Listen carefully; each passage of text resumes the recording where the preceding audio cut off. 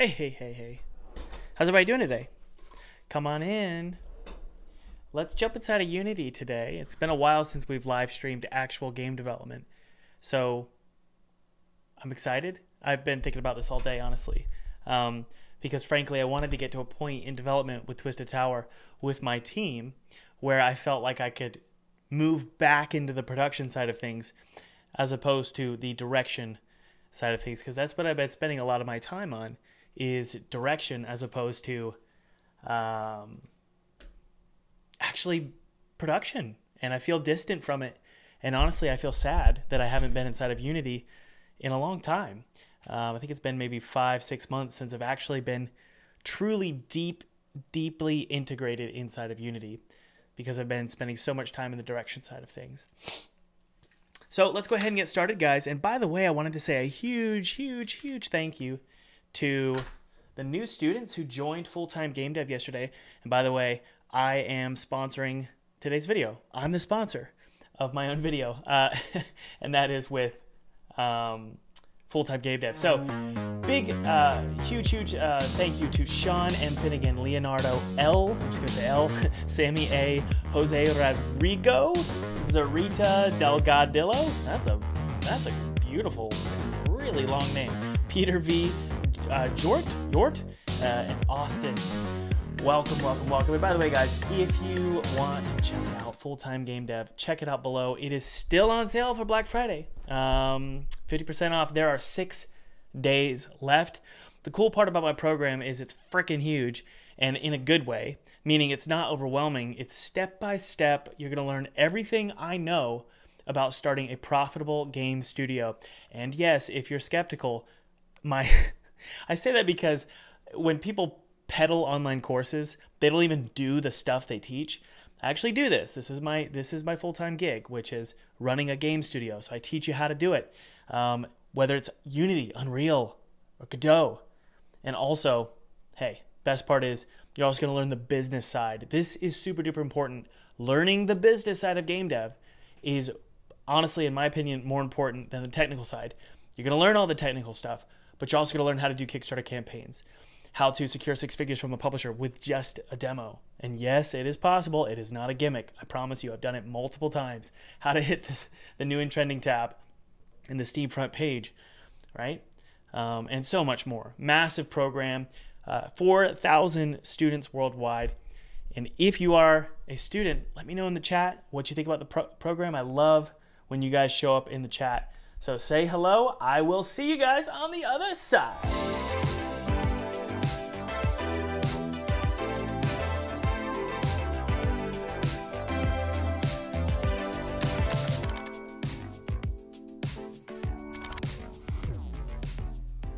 By the way, guys, feel free to download my free 2D game kit below. It's totally free. It's my treat to you. I used this exact 2D game kit to make a game for PewDiePie in 14 days, and then I got to play it in front of his subscribers, which was really awesome. Um, so download that, use it however you want. It's my treat to you. Yeah. Okay. All right, so what are we working on today? That's the question. Hey, who is that? Wow. Look at that bicep. We're working on clawfoot tubs today. We're working on an old telephone. We're gonna add some cobwebs. We're gonna add a fire extinguisher. And we're gonna add a mannequin. And we're gonna add some hanging ivy. Wow, Thomas, that sounds like a lot. It is if you're not smart about development. So what we're gonna do is after I drink our brown juice, we're gonna open up Turbo Squid, Sketchfab, and we're gonna start knocking out these assets, okay? There's no reason to make everything from scratch.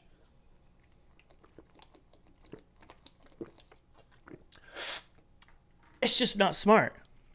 All right, let's go. Come on, Thomas. Let's get things done. First things first. Open up the dreaded, horrible Unity. Oh. Am I being snarky about Unity? Yes, I am. Granted, they could screw us over with their pricing in the future. They probably will, but I'm going to keep using it because I love it. Am I allowed to love the engine? Am I allowed to enjoy being inside of Unity? How many of you say no, you're not allowed? How many of you say yes? Actually, that's a straw man. I'm not going to straw man you guys. How many of you think it's great to keep using Unity? How many of you think it's a terrible idea to keep using Unity? Say Unity if you're okay with it, or say no if you're not. Uh, Unai says, is it worth buying your course if it's only for Unreal? No. It's not for only Unreal. It's Unity, Unreal, and Godot. All frickin' three, right? We've got a lot of no's in the chat, but we've got a lot of unities in the chat.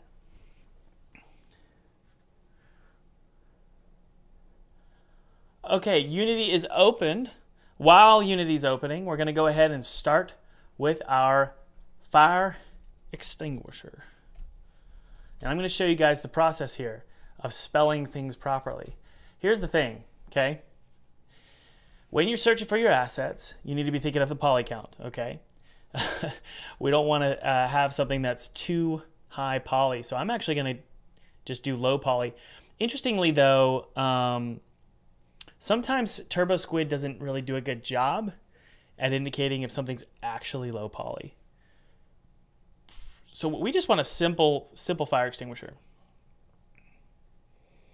Let's take a look at the poly count here. This one's not bad.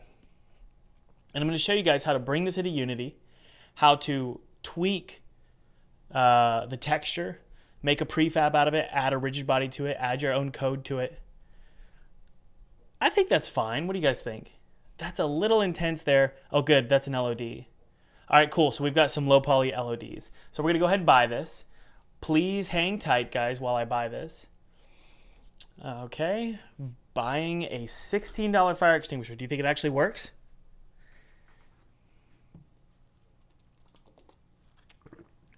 There's part of me that thinks there's probably fire extinguishers on Amazon that are 17 bucks. I could be wrong. Okay, uh, it is purchased. Yay! So let's go ahead and download this. Um, what do we want? Does anybody know?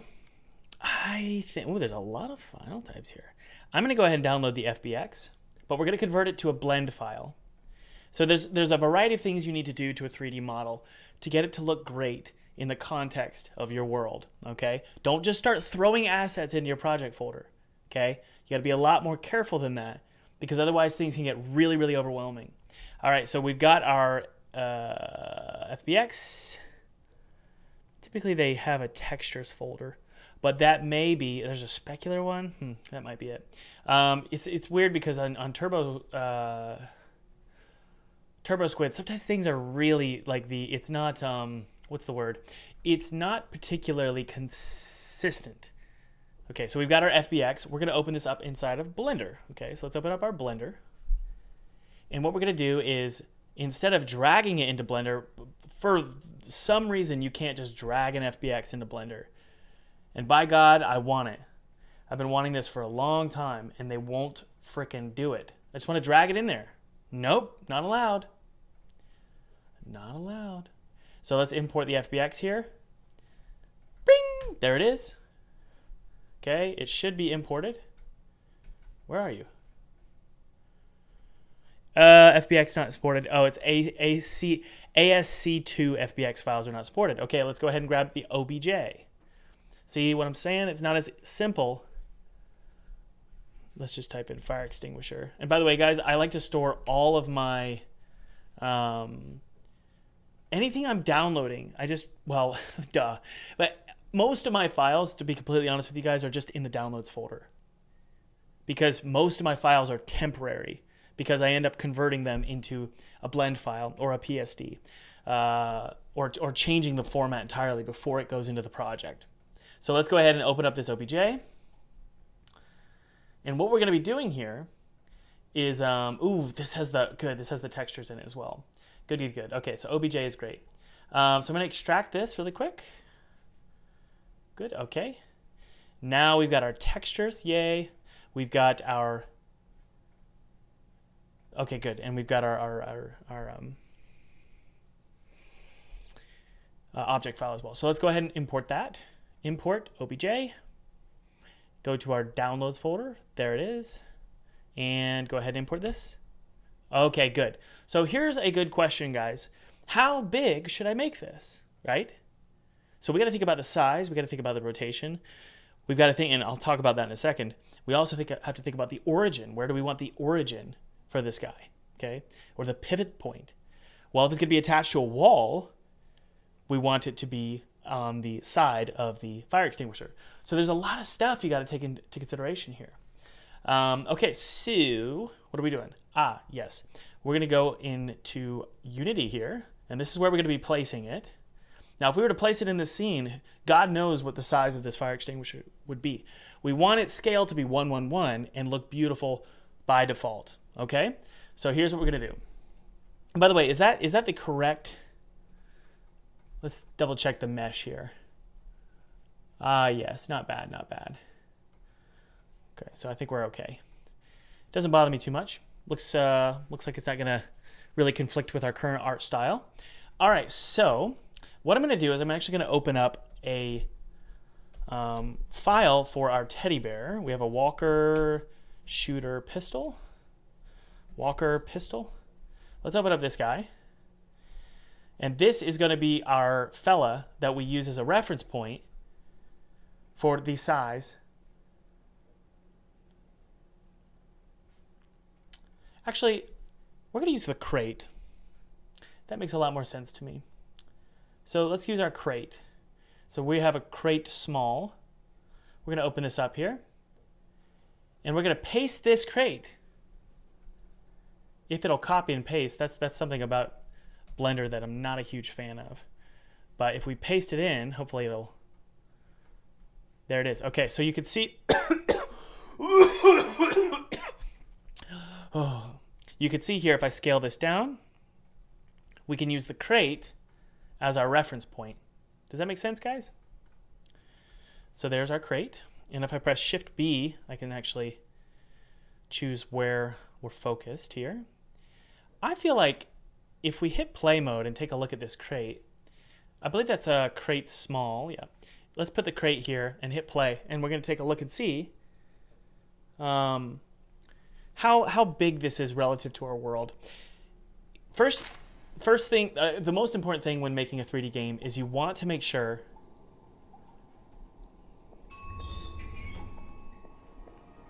that you're you have a good understanding of the scale of objects. Okay. Okay. So, honestly, I think the height of the box, I think the height of the box is perfect. Okay. So let's go ahead and just do that. Let's go to, I think probably about like this is good for me. All right. So there's our fire extinguisher. Now you'll notice that it's kind of off center. So what I'm going to do is I'm going to set the origin to um, center of mass. Okay, so no, no, no. I want the I want it to be right there. Good. Okay, so what I'm going to do here is we're going to yeah, just like that. Okay. We want it to be nice smack dab in the center for now. So let's do object set origin um, to 3D cursor. So now it's smack dab on the bottom there. Okay. Now the question is, do we want the fire extinguisher against a wall or do we want it to be on the floor? Um, who votes wall? Fire extinguisher should be on a wall. And who votes floor? Okay, if it's on a floor, we're going to put the origin actually in a different spot. So who says floor? And by the way, we're not going to create a whole casing for this. It's just going to be sort of hitched against walls. All right, we've got wall. So what does that mean, fellas?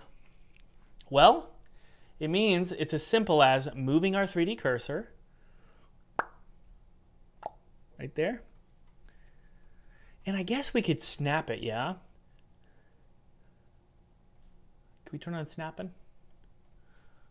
There we go. Snapped to that. Uh, it should snap to the vertex, but I don't think there's a vertex there. Okay, that's good enough it's not my how do I do that? Let's see here. Can I do can I do um, object set 3D cursor? How do I move my 3D cursor? Somebody tell me how to snap a 3D cursor to uh, an edge. Does anybody know? Shift S.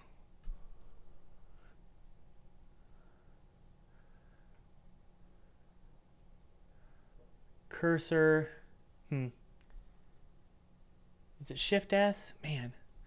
I can't remember how to do it. But that should be fine for now. So we're going to go to Object, Set Origin to 3D Cursor. Good. And so he's going to be snapping against walls, right? I mean, frankly, what am I doing? I'm fine with the origin being down there. Okay, whatever. It'll snap to walls properly. Um, yeah, right? We'll see. Let's go ahead and save it. And actually, we want to go ahead and apply the scale. Let's apply all of the transforms, except we want to make sure that the rotation along the X is set to 90 then apply the rotations, apply rotation, and then X, I'm sorry, and then rotation along the X negative 90. That way, this should, we'll see, balance out. I could be wrong about that. Basically, Unity has a really obnoxious way of importing um, files. Uh, so let's go to our art. And what we're going to do I'm trying to think of where I'd like to put this. It's not an interactive. It's mainly just for set dressing. Uh, environment, props. And I'm going to go ahead and create a new one, and I'm going to call it um, fire. How do I spell extinguisher? Good, there we go. And then we're to call this fire extinguisher. Do you guys see how I'm being very precise about where I'm storing things? about the size of things, about the rotation of things. And also, we need to make sure we bring in those new textures. But I'm not just going to bring in any old texture. I'm actually going to open these up inside of Photoshop and I'm going to save them as a PSD. What? Yeah, we're going to save them as a PSD. Um, so let's go ahead. We're going to call this extinguisher albedo. and I'm going to actually put create a new folder and call this PSD. The reason I'm doing this is because I like to be able to edit my Photoshop files on the fly inside of Unity. Um, glossiness is good, yeah. We, we want that as well. Um, this is going to be actually inside of the albedo um, of the of the fire extinguisher. Okay, it's going to be in the alpha channel, just like that. okay? All right, so that's good. And I'll show you why in just a sec. And I know what a lot of you are thinking who don't make 3D games. You think, why can't I just import a model? Why does it have to be such a pain in the butt? Uh, with Unreal, it's pretty cool with the with the marketplace where you can do that. Um, you can just sort of drag and drop a bunch of assets. Um, I'm a bit of a control freak when it comes to assets that come into this game because I want everything to have a very like every there's a there's a there's a whole system of how we do things. Um, the file formats, the scale of things, um, the origin of things, the rotation of things. Um, the normal map, we definitely need that. So let's go ahead and grab this. Uh, it's pretty flat actually, but I can guarantee you we're going to create one though. Um, maybe not, but we'll see. So we're to save this as a PSD. There we go. Good. All right, what else? What else do we got, guys? Um, by the way, those of you just joining us, just remember you can, uh, glossiness is not correct. It's specular. We really want to put the specular. Yeah, yeah, yeah. We want the specular inside of the alpha channel. Um, so that is what we want. Sorry, not glossiness. There we go. Okay, so we're good here. We're going to close all of this, and we're going to close me as well. Um, let's see here. Let's open up um, our textures folder, go to our PSDs, and we're just going to grab these. And we're going to go ahead and open a new folder here. Open up our project. Go to our assets. Yeah, those of you just joining us, just remember this video is sponsored by me. It's sponsored my my massive course with over 4,000 students worldwide. Um, and that is a real number. Isn't that crazy? 4,000 students worldwide. I'm just really, really honored that you guys would, would uh, trust me to, to teach you how to start a game studio. Um, it's 50% off right now for six more days. I think there's around 55 seats left. So check it out below. If you're a student, let us know what you think about the program in the chat. Okay, so let's go to our environment. Um, props. And what was the latest one? It was the fire extinguisher. And look, watch. Look how clean everything is. And I even like to go a little bit further here with how uh, neurotic I am about files. I want everything to match exactly as the file name. And I don't even know, like, honestly, I don't like using underscore. I like things nice and clean here. Okay, so pretty good. We've got our fire extinguisher here, um, and we've got our two textures. Um, so let's go ahead and go into Unity here, and hopefully everything will get uh, imported properly.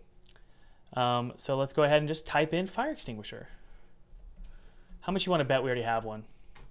Um, nope, we don't. So there is our fire extinguisher. Look at that. Okay, he's good to go. Wait, is that a different one? Yeah, I told you we had two. Um, here's the here's the one we just got. This one looks better. Um, and what we're gonna do? I told you we had one. Thomas, what were you thinking? And let's drag in our new texture here. It'll create a material for us. Um, so there we go. And then we've also make let's make sure we uh, no, that's good. Yeah, yeah, yeah. And let's throw on the normal map as well. Now, guys, why on earth did I create all, let's fix that. Why did I create all those PSDs? What was the point of that? So that we could double click anytime we want to make a change. Double click the fire extinguisher, opens it up, and make a, a lot of cool changes here. Now, we could obviously use something like Substance, right? But if you're like me, you might want to just do it in Photoshop. So I'm going to do what's called asset flipping. Orangish red is the color scheme of the game. And this, guys, it's always important to keep an idea of the exact color scheme uh, you want to use in your game. Everything for me um, is, I think color is, frankly, color in music is the most important aspect of a game's art direction. Okay, so I have a very clear understanding of the color scheme of my game. And even the green here, I'm going to worry about the green. We're going to tweak that even. We use more of like a aqua, low saturated, darker green. Okay. So watch this. Suddenly it's going to match. Look at this. So let's go up to our fire extinguisher. Guys, this is how easy it is to make a game. Now, I'm going to be completely honest here and say that that's a little bit dishonest. um, there's a lot of work that went into this game, a lot of custom models. Thank, thanks to Felipe. Um, so in terms of the the team structure, I'm the art director, and so I I put together art documents and and I use ClickUp and um, or, or you could use Monday.com or Trello, and I use that to create art direction for this game. And then I also go in and create textures as well, and and and um, sometimes I will do the assets like this uh, fire extinguisher here. Uh, but if you wanted to make a game just just from simple assets, you could definitely do it. Um, so that's what we're gonna, that's what we're doing for the we're in the technically we're in like milestone three, but we're in the fourth milestone, which is just polishing the crap out of this game, adding a bunch of assets and making it beautiful. Um, just so you guys know, just if you're curious, um, we're using we're going to be transitioning all of our materials to toon shading to make it feel a little bit more like um, what's that game called Valorant? Um, also, all these Gen Z games. Um, I sound like an old man, I know. Um, and just very much more simplistic toon shading. That's what we're going to be using. So something like this is what we're going to end up using. Okay, uh, with some rim lighting as well. It just looks so much better. It really looks gorgeous. Look at that. So you can you can see why I would want to go with this route. It just makes things look uh, that much better.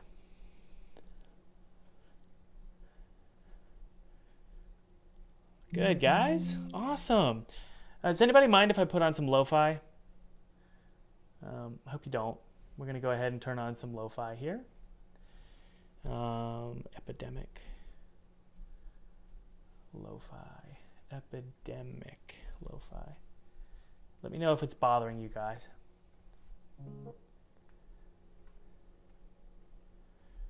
Yes, I mind. All right. well, I guess I shouldn't have asked your opinion because I really don't care. Um, all right, guys, let's make this a pushable object. What does that mean? It means adding a box collider. Ooh, and it wraps perfectly around. Good. It means adding a rigid body. Make sure it's not kinematic, fellas. Good. Use gravity. Good. And we're also going to add a pushable object script. Guys, it's so important to have your systems in place so that you can quickly create a variety of different kinds of objects. So in this case, a pushable object is just something you can grab, okay? Um, it would be, wouldn't it be, guys, wouldn't it be ideal if when you shoot this, it sprays uh, steam? Oh boy. Thomas, you're setting yourself up for failure, man. If you don't do it, people are going to be mad. Probably need to do it. But let's get this list done and then consider adding that at the end of the stream.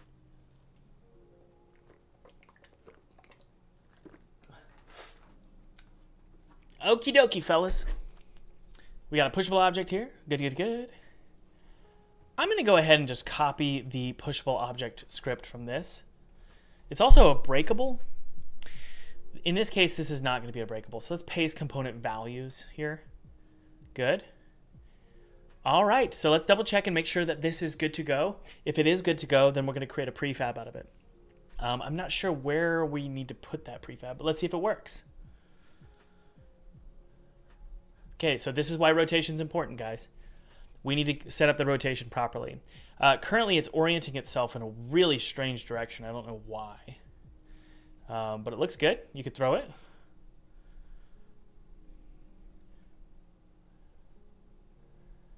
Okay, good. All right, so that looks great. I'm curious what's going on with the rotation. Um, what's what do we think is going on here? Let's double check. The rotation value is, let's just set it to, let's go ahead and apply the rotations first. Apply uh, all transforms. Save it. And double check here. Okay, it rotates like that, which is not what we want. So I'm to grab this bring it right here, put that on there again. I'm to copy the pushable object script here, paste component as new, and then the rigid body as well. And I, I think maybe this will work. I don't know. This is where things get kind of painful for me. Um, let's double check, guys. You ready to take a look here? Paste component. Thomas, yeah, let's throw. Uh, no, we got everything. Actually, we're good. All right, you ready to try it out here? Let's see the box collider. Yep, box collider's good.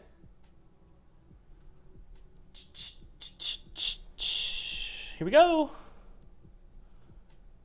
Okay, so what we need to, it's getting set to zero, I believe. Let's double check its rotation here.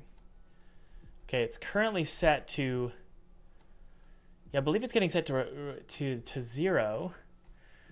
Ah, yes, Thomas. Okay, so here's what we need to do, guys. We need to first rotate this along the x-axis negative 90. We need to apply the rotation. I'm telling you, freaking Unity. Um, rotation along the x and then do positive 90. Save it. That should, it'll, it'll screw this up, don't worry. Um, and then we're gonna go to this here. We're gonna do it one more time. Select the original, select the process here is such a pain in the butt, um, but it will make sense, I promise. Oh, good, it adds everything uh, for us um, when you add the uh, the pushable object script. Thank you, AJ. By the way, AJ wrote this script. AJ, this is a really good script, buddy. Um, and we're gonna paste the the pushable object uh, values here. Paste the values, and we're also gonna do a. Well, let's let's double check that this works. It should. I'd be frustrated if it, if it didn't work. I wouldn't know what to do, honestly. Okay, it flips it around, which is, I guess, is fine. Um, yeah, that works. Works for me, guys. Okay, let's make sure it's set to the right sound. This is going to be very simple. Um, and by the way, the entire system here was programmed by AJ, um, AJ is our developer, and then also myself. Um, so we've we've kind of come together and AJ's put together an incredible system, and then I often come in and I screw it up. Um, so if we go to our tags here, I'm going to just tag it as.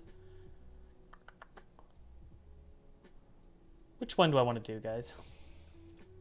We'll do metal. And we'll turn the sound on and we can take a look here. Hello, Lentor. Heated Snail, Null Script, how you doing?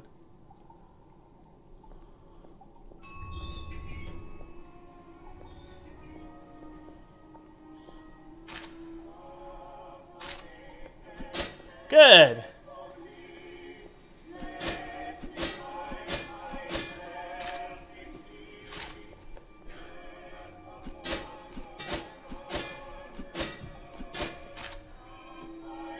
Okay, so here's what you can do, guys.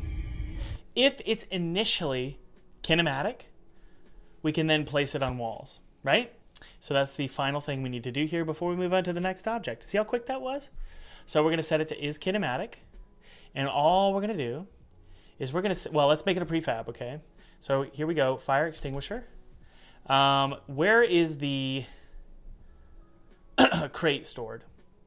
Good, so we're going to store this fire extinguisher here. Create variant. And why are we creating a variant out of this fire extinguisher? So that if, if we update the blend file, it will update automatically. Just as long as we're not changing the rotation or the origin or anything like that, we should be good. Okay, so let's delete these old ones here. Okay, we've got our fire extinguisher ready to go. And so now all we've got to do is go to our fire extinguisher variant. See how quick this was, guys? We just got to go, where did it go, you moron? There it is. And it, it should, ah, oh, good, there he is. Awesome. Okay, so we've got a fire extinguisher we can put on walls now. Pretty cool, guys. So just this very subtle very subtle um, set dressing that you can do just to make things feel like it's a more lived in environment, okay? That's really all we're trying to do here. We can set the rotation to 90 here. And if you ever have a mistake where you're like, oh no, it didn't connect to the wall, all you got to do is grab the vertice, snap it, there we go. And we can just push it up against the wall. Okay, let's make sure this works so they don't fall to the ground initially. But when we grab them, then they'll suddenly be not kinematic, okay?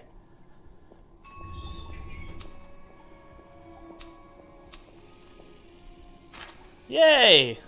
Ha Sweet. Yeah, they definitely need to to spray, um, but that's even dare I say potentially something we do after we launch um, with a with a patch because there's so much I got to do. Um, Do the 999 plus warnings and 168 info logs have any concern to you? No, they do not. It is par for the course, in my opinion, when you're working with frickin' Unity. Unity, they've got this issue. Watch this. you search in the hierarchy AS and it loses its mind. Um, so we've tried our best to figure out what is going on there. And AJ and I have just concluded just don't search for stuff in the hierarchy. Um, that's basically it. Hey, Tuck Mac, how are you? Okay, guys, what else? Well, we got the fire extinguisher done. Um, the mannequins are the next step. All right, so let's jump on over to Turbo Squid.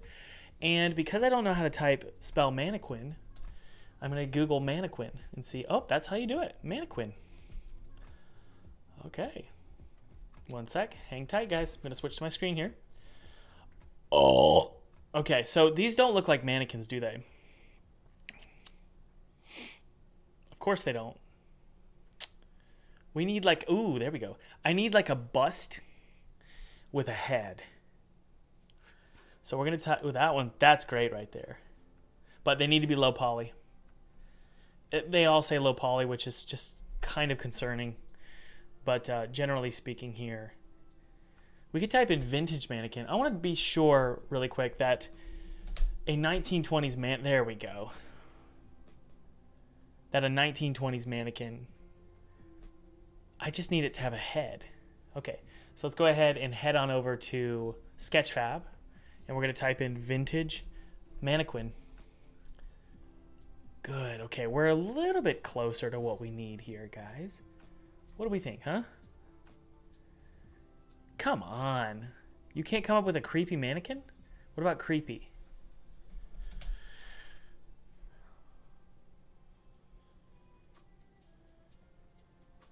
That's great right there. But the problem is it needs a head. Do mannequins have heads? They should, shouldn't they? Um, okay, last resort. Unity Asset Store.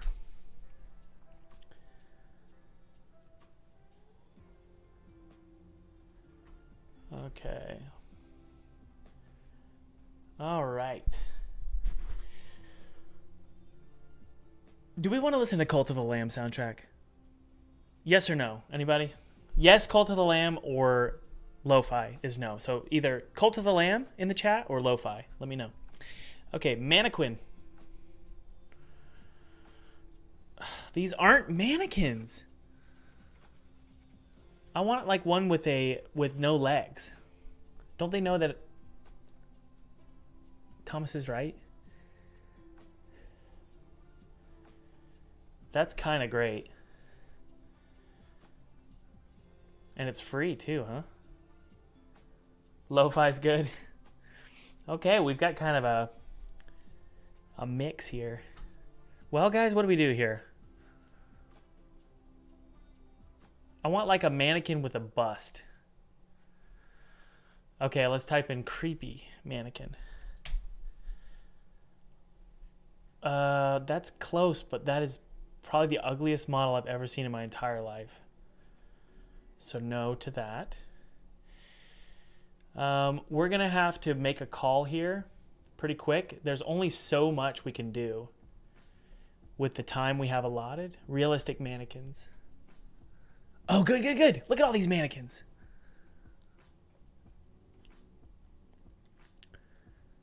That doesn't look like a mannequin to me. How many are there? The thing is, is I don't like downloading Unity assets because it gets put right into my folder and it becomes a mess. But I'll, I'll move it out. Um, guys, we're going to make a gamble here and we're going to gamble that these are good. So let's go ahead and buy. That's the thing about the Unity asset store is It's always a freaking gamble. Um, so let's just buy these and see what we get. I have to hide my screen because I don't want you guys to see my credit card. Okay. I know you guys would not use that information to your advantage. You would never do that, right? Uh, so let's check out here and see what we got.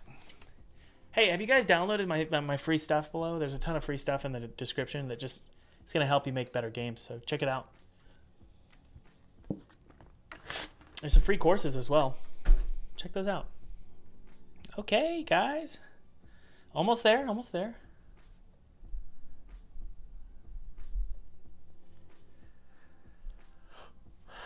I want to listen to jazz. How about I don't take anybody's advice and I just listen to what I want to listen to?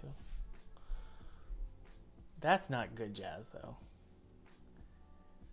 I need some cozy jazz. I almost don't care about getting flagged here. Okay, so we're gonna open this this up here, guys. We got a bunch of mannequins here. Um, so that's that's good. Uh, let's see. Okay, there we go. And Hang on. I don't think it opened. Let's go to my package manager. Why are you not signed in? I've been signed in for years and you decide to sign out. I can't. I can't. Why? Hang on. Sorry, guys. I need to sign into Unity. Okay, there we go. Go back to my package manager.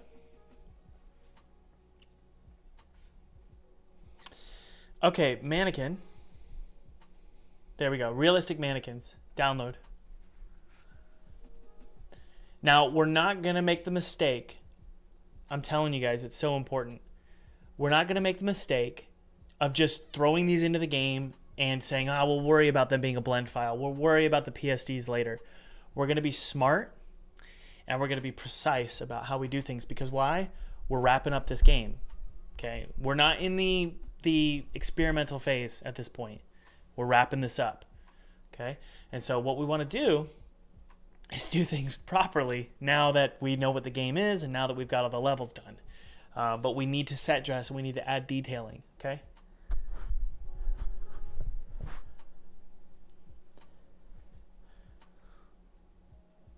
Okay.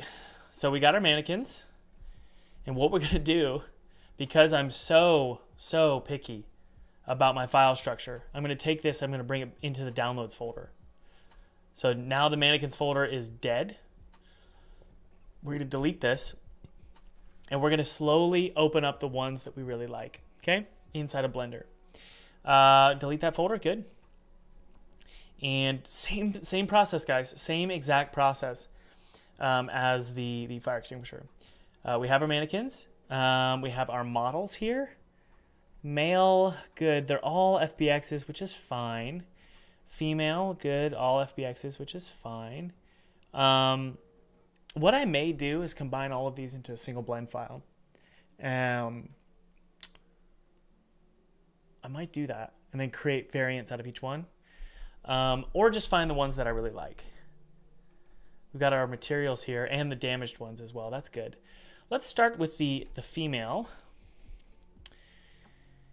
Oh, good. And it's tempting. Here's, here's one of the most interesting temptations um, that I've had in a long time, or since I started making 3D games. The temptation is to use all of the assets. Why not just use them all? Well, you get overwhelmed really, really quickly. And so what I do is I like to pick maybe one, maybe two, and that's that. Okay. So we're not going to make the mistake of getting overwhelmed by all these different kinds of mannequins. Um, we're not making a AAA game. We're not making a highly realistic game, and so we need to be much more economical with our decision making. We have a list of 200 things we've got to create for this for the set dressing phase of this game, so we're not going to worry too much about everything being used in this mannequins folder. So let's go to our models. We're going to go to female. We're going to take a gander here that the seated one is the one we want. Oh, that's cool. She's rigged up too, which is interesting, isn't it? Oh, that must be the dirt and the grime. That's a weird... Oh, good. There's multiple pieces. Um, let's see. Is there a, a stand? Okay, we got a T-pose. We've also got one that's no rig. So what I think I'm going to do is I'm going to download the free mannequin and then this mannequin and combine them into one. And it is rigged, I believe, in Unity. Um,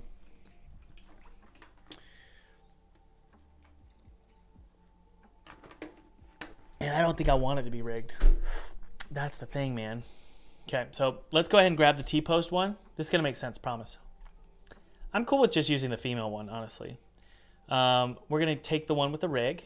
Good. Okay, it's rigged up. Let's go to pose mode and see if it works. Good. It works. Oh, we can do lots of cool poses. I like it. Okay, so she works great. And so what we're going to do is we're going to add in a pedestal inside of this model here. So let's get the rig Let's keep the rig as it is. What is this? Some sort of IK thing.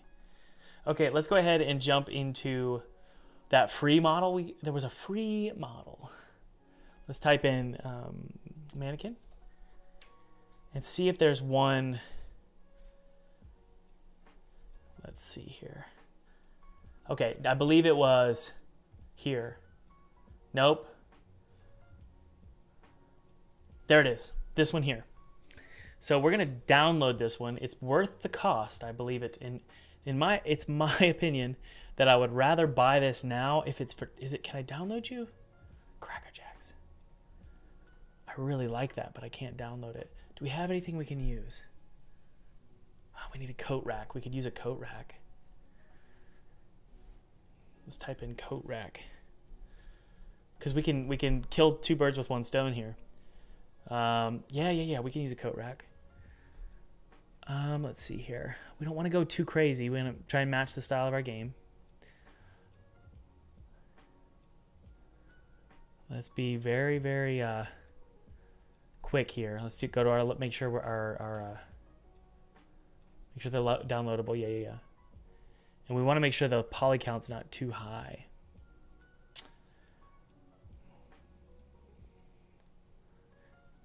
Can't be too crazy.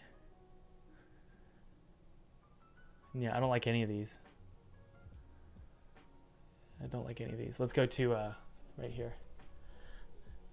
Type in mannequin. Let's see if there's anything in the mannequin. Uh, no. Okay. All right. We're gonna go to coat rack. And the theory here is um, vintage. Good. Okay. Look at this. A lot of them are the same. Uh, we're gonna go to the poly count. Where's the freaking? Oh, there it is. Okay. Um, what's gonna match in the game, y'all? Do we have a coat rack? Nope. Okay, we don't have a coat rack, so we definitely need one. Um, which one do I want to use?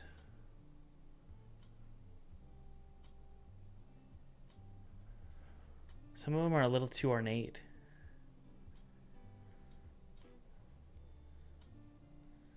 It's only four bucks, but it's ugly. I'm tempted to just grab this one. Although there was one here that I didn't mind. It was super simplistic. When in doubt, I always just go with simple. But it's kind of ugly at the top. Hmm. And I can't buy this one anyway. Okay, what about uh, Unity Asset Store? Let's type in coat rack.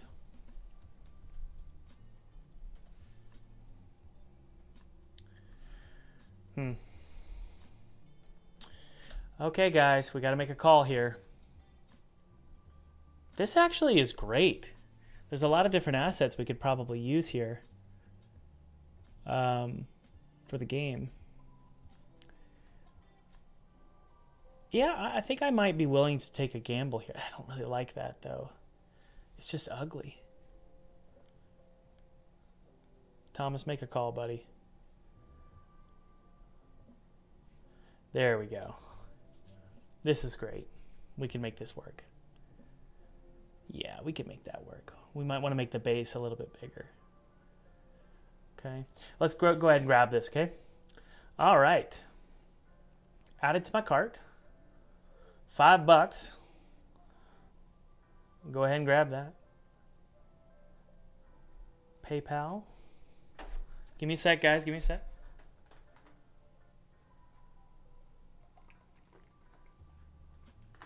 Use a lamp. We might have a lamp actually. I don't think we have any stand up lamps, which is interesting. Oh, there we go. Let's take a look here, guys. Okay, so we have this.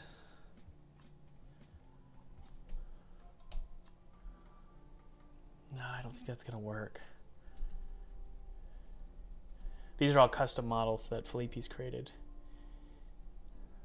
Yeah, no, I'm fine with just with moving forward here. Okay, let's go ahead and move. Uh, just make the call and get get moving. You guys know I'm a big fan of just making things happen. Now we do have a process and we have a system, so I'm not just being completely chaotic here. We do have a process, um, but that said, um, we want to uh, we want to be pretty pretty uh, pretty quick with how we're doing things here. All right. Okay, so I'm, gonna, I'm downloading it really quick. Um, I'm going to download it and put it into a folder called Wooden Coat Rack. And the first thing we're going to do is um, cut it in half and apply it to the to the mannequin. Okay, that's the first thing I'm going to do. Um, okay, let's go. So, oh, sorry, give me a sec, guys. I want to close out all these tabs. Okay. All right. Downloads folder, wooden coat rack. All right, you guys ready to open this up? All right, so we're going to open up this FBX. And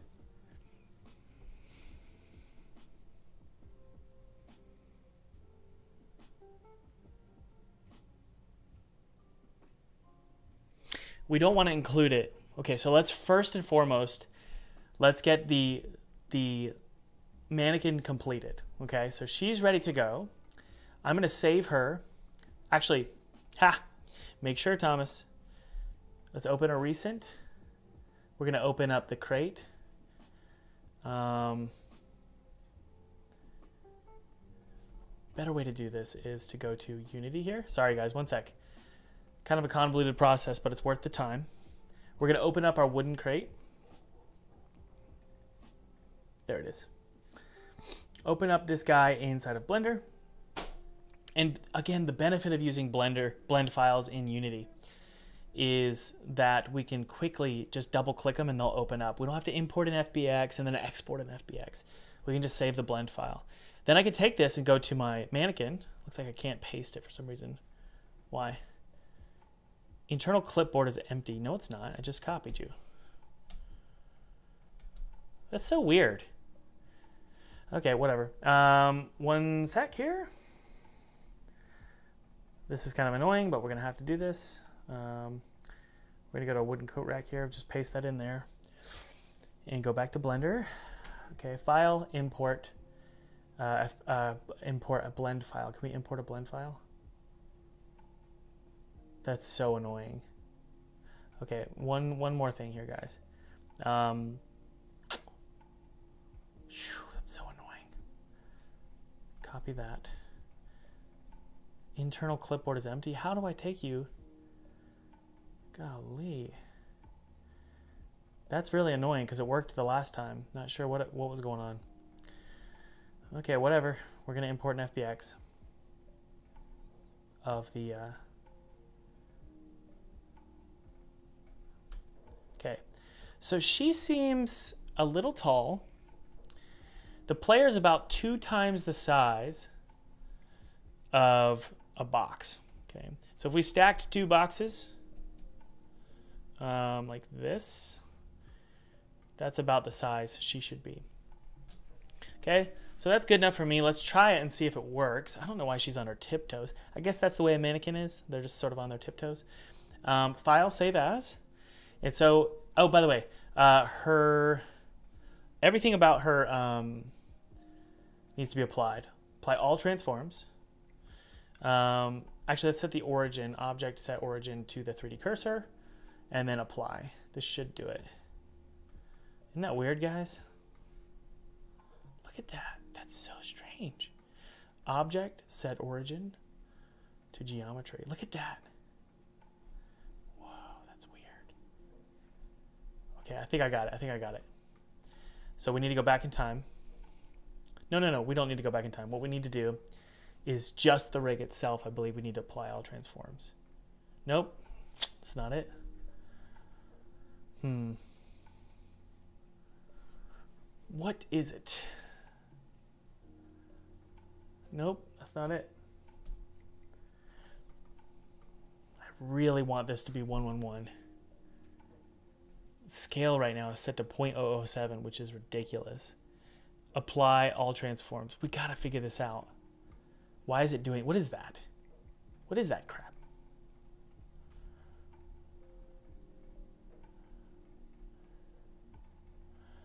Boy, I really hope these materials aren't separate. I don't think they are.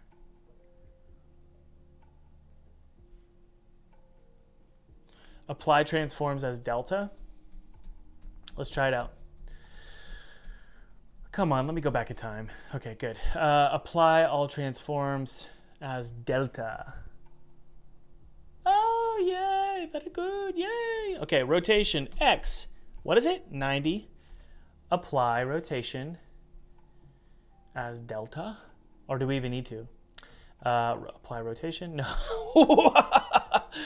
no, that's not what we want to do. Um, apply, rotation uh, to deltas. Yep, and then we go rotation x 90. Ah, wait. I could be wrong here. I keep I always forget it. Um, but that's fine. Let's let's go ahead and save this into our uh, new props uh, folder here. We're gonna go to type in mannequins And just so you guys, uh, hopefully you're seeing that just because you're using assets doesn't mean it's just drag and drop, right? It needs to you need to be very precise and you need, you need to have a system in mind of exactly the size and scale and rotation and, and the way you're using textures and what kind of materials or what materials have do they have normal maps? Are you using normal maps? What are your shaders? Uh, what are your roughness maps? Um, so this is going to be mannequin okay dot blend. We're going to save her and honestly, I'm going to go to pose mode here because I know for a fact I'm never going to use this pose. So we're just going to do like a, a generic standard pose for our mannequins.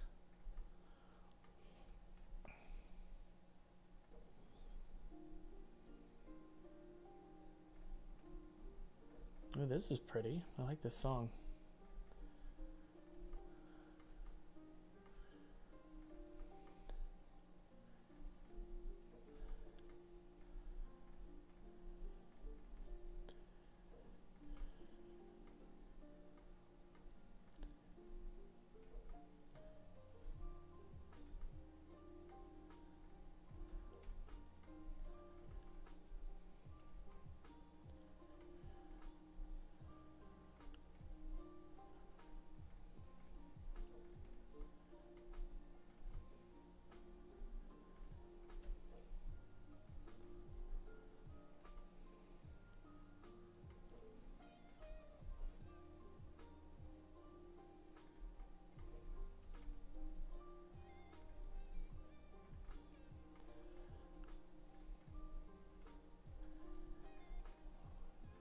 I need to. Th- I'm just thinking here, guys.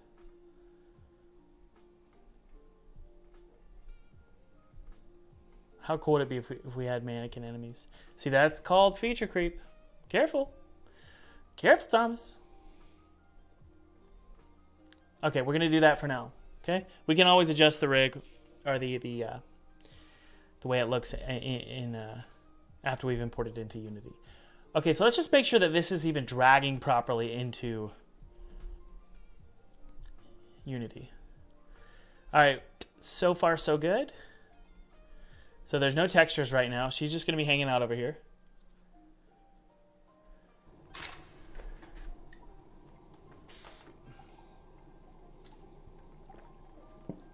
All right, guys.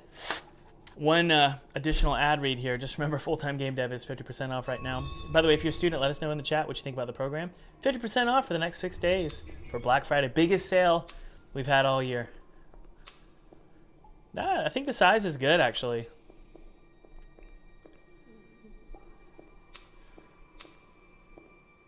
I like it.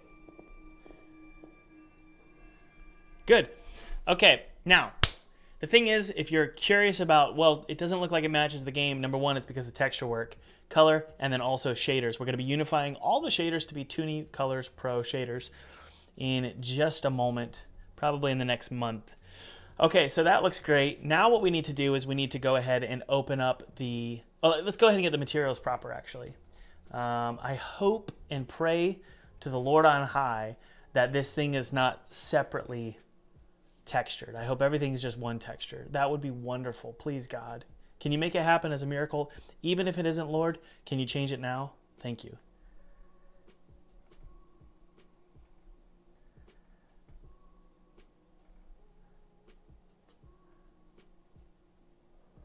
Good. Okay, he changed it for me. Thank you, Lord. All right, so if we take a look at uh, the albedo and the normal map and also the metallic smoothness, what do we want to do? We want to make them PSDs. So we're going to start with the albedo.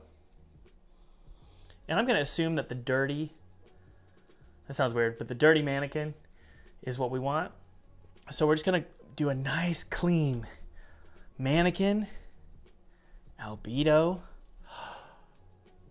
That's it. PSD. Save it as a nice PSD. Let's actually create a new folder called PSD. Guys, remember, these folders are not being saved inside of Unity. Um, they're being saved in my downloads folder because I'm going to trash them eventually. Um, my downloads folder is like my scratch folder. When I'm finished with something, then I move it into Unity. All right. And this will give this will save you a lot of headaches um, in the long run. Okay, let's go to our models ordinary mannequins. We've got materials, damaged. We've got that PSD folder. What are we going to do? We're going to go to our metallic smoothness. Remember, we can store our metallic smoothness inside. We can store it inside of our alpha channel. I'm assume that's not white. No, that is actually. Um, mm, maybe. We're gonna store this inside of the, the, the alpha channel here. So I'm just gonna paste it in alpha one. That's a PSD, good. Actually, that's named incorrectly. We're gonna need to clean that up. Um, and we'll do that in just a minute. You can see here, it has an extra space, delete that. Okay, um, and then also, hey, don't forget normal maps, very, very important. Even if you're using a toon shader, guys, normal maps will make a huge difference for your game. And I used to be opposed to normal maps because the, if I'm using a toon shader, a lot of games that use toon shaders, they don't have normal maps. But in this case, for this game, our game looks really good with toon shaders, but also um, smoothness maps and also normal maps. Okay, let's go ahead and just name it mm, mannequin normal. And hopefully you guys are learning how to do an asset flip. There's a there is a right way to flip assets, and there is definitely a wrong way. The wrong way is being rushy rushy and feeling like you have to use every single asset that you've downloaded and putting it all in your in your project folder. And believe me, we have that currently, and we need to do a big project cleanup. Um, okay, so we've got these two. That's all we need. So we're to go to our mannequins here. And there we go. See how clean this is, guys? Look. Just drag that in. All my life. Sorry, I'm quoting Star Wars. Okay, so I believe that that's all we need to do. And because this is all one material, has anybody used the material editor in Unreal um, with all the nodes? It's definitely cool, and I'm sure it's useful. And if I understood it, it'd probably be amazing. But it it's uh, it was hard for me to learn. I, I don't quite fully understand it, honestly. Okay, so for some reason, I don't like this base map at all. What? Hmm. That's not right. Son of a... You're not unwrapped properly, dude. Why are you not unwrapped properly? Oh, that's frustrating. Let's double check here what's going on. Models. Female. Ah. I picked the wrong ones, my friends. But that's okay. Not to take long. Let's go ahead and just jump on over to the albedo. Copy. Look how quick. Uh, where are you? Mannequin. Oh, yeah. We need to grab the right one here. So let's go ahead and open up this one. Save that out and delete that. We also need to go ahead and, yep, oh, thank God. And then we can go to our normal, sure, yeah, let's grab our normal map. Look how much difference this is gonna make, guys. This is gonna be so great. I can't wait to show you how this is gonna work. Um, good. And I like the idea of it just being a female mannequin. Um, there's a lot of uh, relational conflict in this game related to your girlfriend. And so there's a lot of um, references to her in the game, and I think we can use these mannequins to bring that out in the story. And she could sort of be a reflection of her. So that'll be cool. so let's grab the normal map here as well. Fix it. Okay, so that's that's not the right one. I wonder what's going on here. Let us double check, my friends.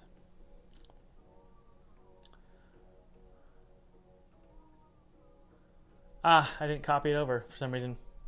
Not sure what happened there. Okay, save it. Look how beautiful this is gonna look. Good. Thomas, why didn't you just keep the models inside of Unity? Because I want them to be blend files and I want them to be PSDs. It's really important to me that things are blend files and PSDs. Who knows why I use blend files and PSDs? Does anybody know why I'm using blend files and PSDs and not FBXs and PNGs? Does anybody know? And let's go ahead and add in the proper um, roughness map. While you guys answer that question, let's go ahead and jump into our roughness map as well. Does anybody know the answer? Stick Guy says it's a bad decision. That's why. Nope, that's not the answer.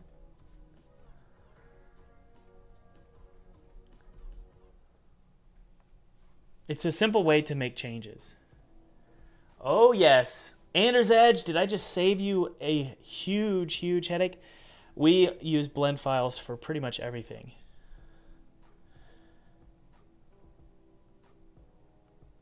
Okay, there's our metallic smoothness. Yes, good. Um, so we're going to grab this and we're just going to use white here and copy that and then go to our actual albedo, go to the channel here, kill it, and then paste it. Now watch, if I take this, then I can go to metallic uh, or, uh, albedo alpha, and now you can see there's only certain aspects. Look at that, guys. There's only certain aspects that are shiny. Looks great. Okay.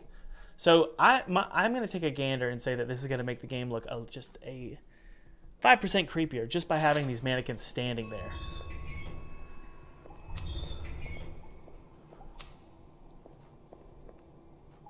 Looks great. Okay, and just to be sure, let's double check and make sure that I don't have a massive uh, uh, amount of polys here. It's, it's a lot. It's a lot. So what we're going to do here is we're going to go ahead and do a little bit of a, dare I say, a refractaling. All right, we could use decimate. Um, yeah, it's a little much, isn't it, guys? So we're going to do remesh, and we're going to do sharp want to be able to see this though. It's not showing up for some reason. Hmm. Oh, there we go. And then we'll do shade smooth. That's weird. Why is it doing that, guys?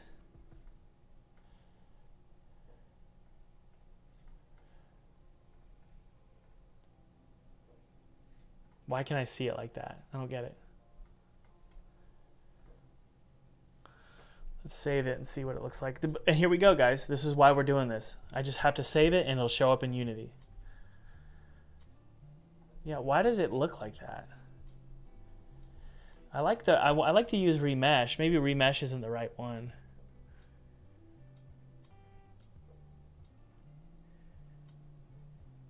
Smooth shading. There we go. I don't know why I would do that, but pff, okay. So five is good we could probably get away, maybe get away with six, especially if I hit apply here. Let's take a look at edit and see. No. So I really want it to be pretty low. Give it a crunchy sort of low poly feel. Cool thing is you don't have to re uh, redo the uh, UVs. I don't believe. Let's take a look. Yeah. Are we okay with the UV? I think we are. Am I biting my tongue here? Let's take a look.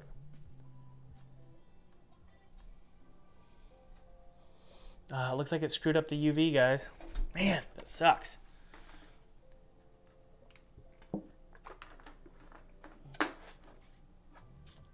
Okay, D-Ho. What are you saying? D-Ho said something. Uh, decimate. Unsubdivide. Yay, that's a great one. Unsubdivide is a really good one, actually. Thank you, thank you. So let's double check here and see. Face count is now at 1690, uh, 1961. That's pretty good, actually. Iterations. That is weird. But let's save and see if this actually helps us out. Oh, good. Oh, good. Okay. It's good enough, right? Um, there's a lot of things to do today, and also mannequins aren't my priority for this game. That looks weird, so we're going to solve that. collapse, that might help as well. Let's try collapse. That looks much better, actually. Let's try collapse. Collapse looks a lot better.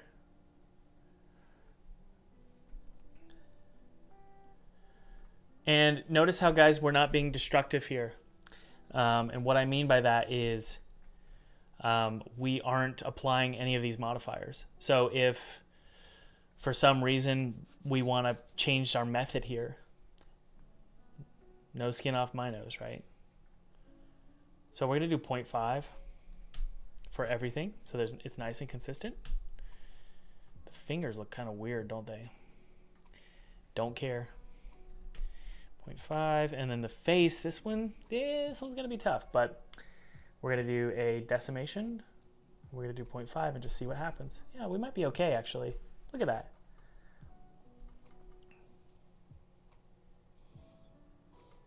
I like that. Okay almost done with the mannequin and then we can also add in the stand as well. I want to make sure that there is a good, okay, so there's a cut there. So if we were to remove these legs um, and put a stand there, we'll be okay. All right, so let's add in that modifier for decimate. 0.5.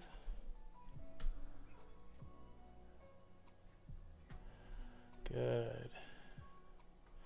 Hey, Save it out. Let's take a look. Those fingers are messed up, man. I wonder if, if we were to remove that, what would happen? They're still messed up. Look. Look at that.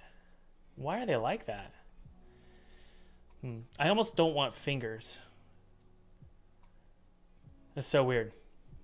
I don't want I don't even want a rig for the fingers. That actually looks better because there's more of a bevel now. Look at that. Those fingers look messed up. Probably need to fix that. But hey, guys, overall, this is kind of what we're looking for.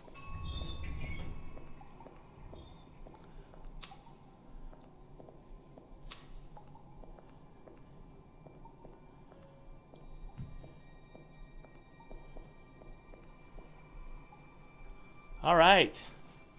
I like it. Now, Remember we had that cool, well, let's, let's see if we can fix those fingers. Let's figure this out here. If I were to go to our pose uh, and go to clear all, I don't get it. Those are probably, yeah. Sadly, I think that's what we're to have to do here. Just to make it not look weird. I don't know why they're doing that. I probably, this is probably my fault, but Oh, yeah. Okay, I, I see. There's an IK. All right, so we're good. That looks great. Good, guys. Okay. Hey, fingers fixed. And that's why we use blend models, right? Why also do we use, uh, um, for example, why are we going to use PSDs? Let me show you. I'm just going to show you here an example. Blood, texture, splatter, PNG, um, let's just take this as an example here. I'll show you in just a sec, guys. Hang tight, hang tight. Uh, save.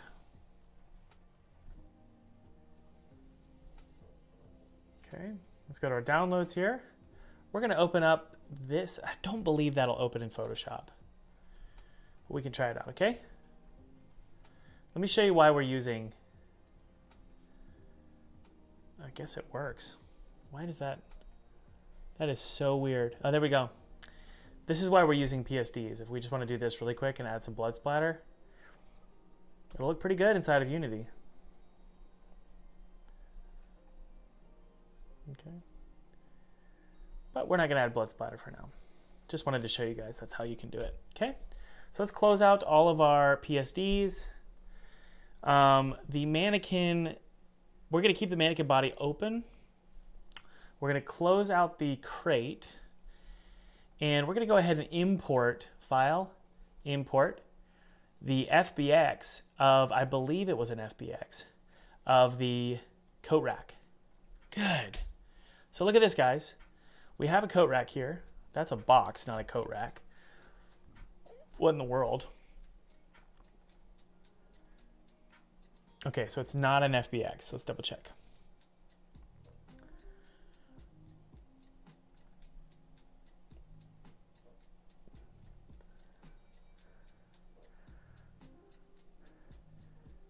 All right, here we go. It's an OBJ.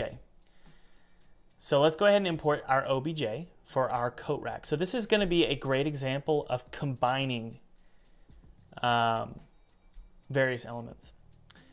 Before, listen, before we do anything by cutting the coat rack, we're actually going to save out the coat rack so that we have it to use because I think it's on my list.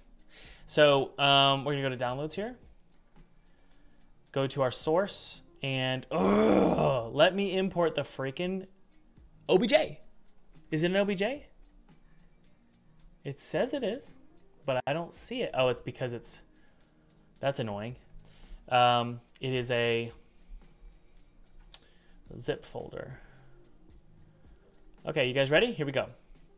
Wooden coat rack. Golly. There we go. Okay, so now that we know the size of our mannequins, and those were determined by the size of the boxes, boxes are the determining factor of the size of everything in the game. A box is half the size of a human in our game, okay? So now we can just say, well, a coat rack needs to be about the size of a human. Something like that. I think that's pretty good. We're gonna apply all transforms like this. The rotation is going to be positive 90. Apply all. And then rotation back to negative 90. No, no, no, Thomas. Wrong. Shift. Go negative 180. That's wrong. Apply all transforms. I always get this wrong. Negative 90. Rotation, negative 90. Apply all transforms, rotation, positive 90. It's just a stupid Unity thing. It's, it's hard to explain. Um, okay, so there's our coat rack. And we also have our armature with our mannequin. Uh, what are we going to do? We're going to... Hmm.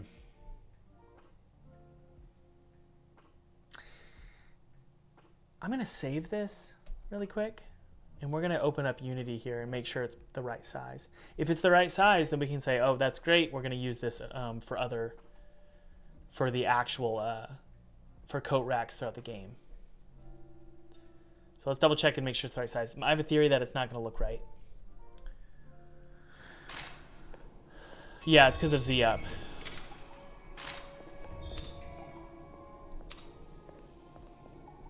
Okay, so let's take a vote.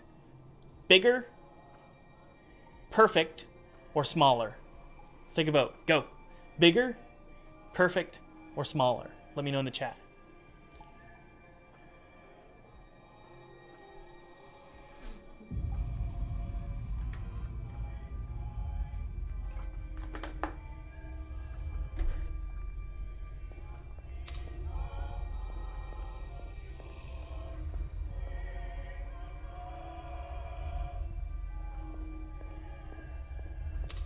Okay, I agree. Little bit bigger, guys. Apply not all transforms. Don't screw up the rotation, just the scale. Yay! Save it, and now you can see it'll automatically update. Looks like it needs to be a little bit bigger. That looks like a coat rack to me, man. Okay, so I like the coat rack. We're good to go with the coat rack. Let's double check and make sure the mesh looks that's a little much. It really is, isn't it? Can we can we potentially decimate this? Probably not. I just feel like it's 74.55. Can we cut it in half? I feel like we can. Let's save it and take a look. We didn't need that many. It looks fine. That's a pretty amazing algorithm. I'm not gonna lie, y'all. Yes, so good. Um, I'm cool with it. So what we're gonna do is I'm actually going to delete this armature. Whoa! Sorry about that. We're gonna delete all this stuff here. Although, I'm not apologizing actually. I think you guys are probably enjoying this. Let's delete this here. So we got a nice coat rack here. And what we're gonna do is actually save this really quick as a coat rack because it's ready to roll.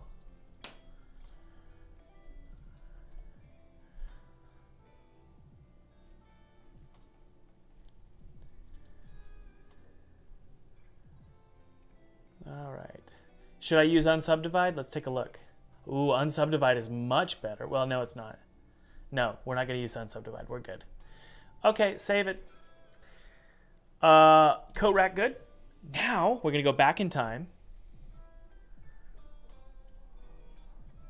And we want to make sure that we go in. This is going to be weird, but we're going to save back over our mannequin. There we go. And the theory is everything should be totally fine.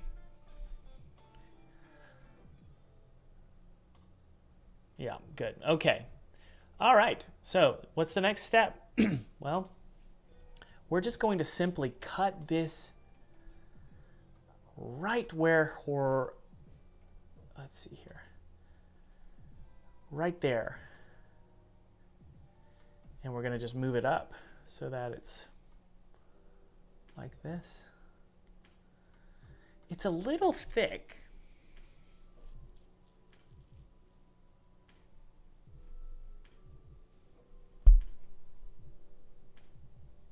Isn't it? I'm trying to think of how a mannequin's supposed to look, y'all. Mm, Thomas, use your brain. Mannequin, creepy mannequin bust. We're not going to make a mistake here and just rush this. We're going to be smart about this. Okay, the bust usually doesn't have arms. That's one thing. So it's like this right here. I guess sometimes it does. It just needs to be thinner. Okay? The uh that needs to be thinner down there. So we're going to take this and we're going to scale along the x-axis by 0.50, scale along the z-axis, nope, by the y-axis by 0.5. Scale, scale, y, 0.5. That to me feels like it's going to be better. I don't want to be in isometric mode. How do I get out of this mode? Okay. I guess technically I could do Y as well, or the Z. And just do that. Man, let's think here. Sorry guys, I'm, I'm trying to think.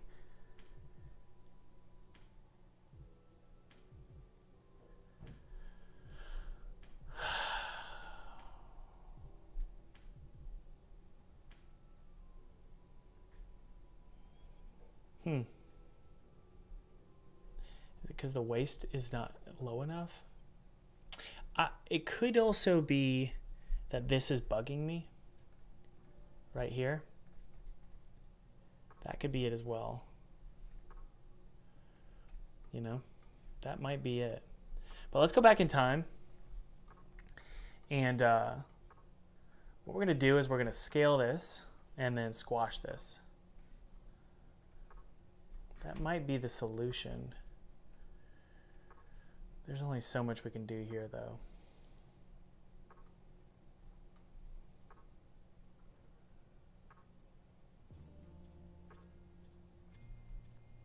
Okay, next next thing to do, guys, is um, select any, everything above and kill it. Not like this, delete. And then I'm just gonna fill in these. How do I, how do I fill again? F? There we go. I haven't done Blender in a long time. By the way, those of you who are curious, the 3D art portion, that the free course included in the full-time game dev bundle for today's sponsor, that's taught by Felipe, who's the 3D artist for um, the game. So, pretty cool.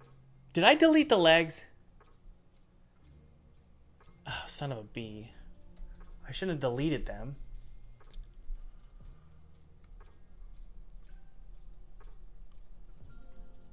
Thomas, don't be don't be the way you are. You need to be careful, buddy. Okay. That doesn't look weird.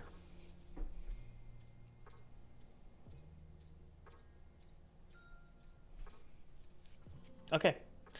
Gosh, let me just, I just want to disable that. It's giving me nightmares. Okay, so let's save this here. Um, we've got our coat rack ready to roll. Uh, so what we can do, this is going to be interesting. If we go to Unity, and by the way, yep, we're good actually. Yeah, there it is. Um, so we're going to go ahead and revert all of our changes. Good. Um, that's not, let's actually just revert the transform of this guy here. There we go. All right, so we've got the, the wooden coat rack that can go below. It probably does need to be... The origin's all off too anyway, so let's go ahead and set the origin to the 3D cursor and actually scale it. Okay, I think I get it.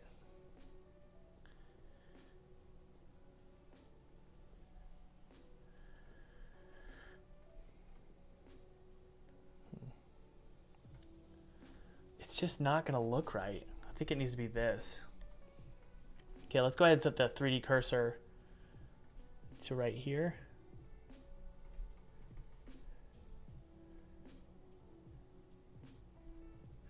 Has anybody figured out the snapping to vertices yet?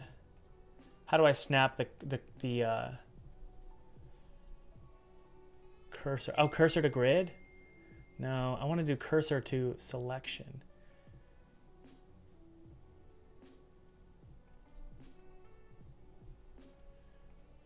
Think maybe? No, I'm trying to get it to snap to those vertices. Hmm. Anyway. All right, let's go ahead and set the origin here.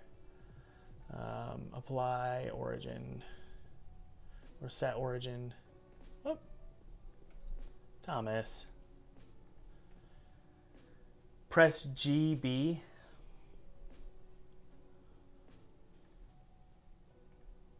GB.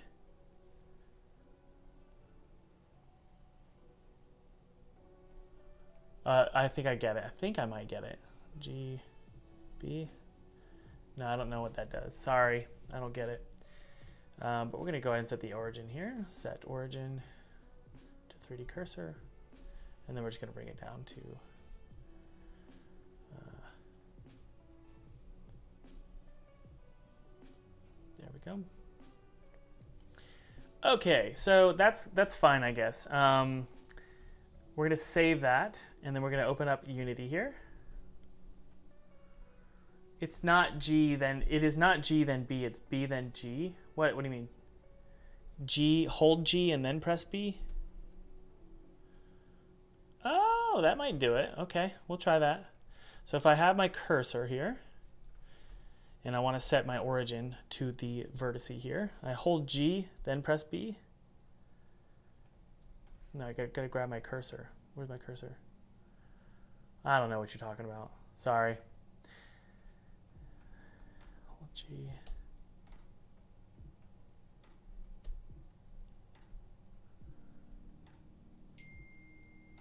Man, I don't know. Cursor to selected in edit mode. Oh, cursor to selected, then edit, then origin to cursor. Okay, okay, hang on, hang on. That's it. That's what we want to do. So go to edit mode we grab a, stop it. I think I got it. Edit mode, grab a vertice. Okay, we can actually just grab that one. Is that is that one of them? No. Grab one here, one here. And then we can go to cursor to selected in edit mode. How?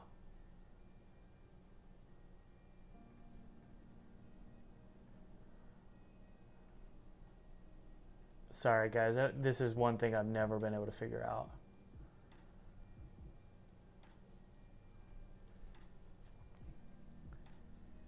Shift S.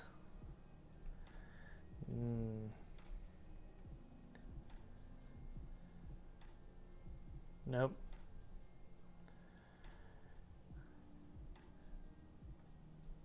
Right click.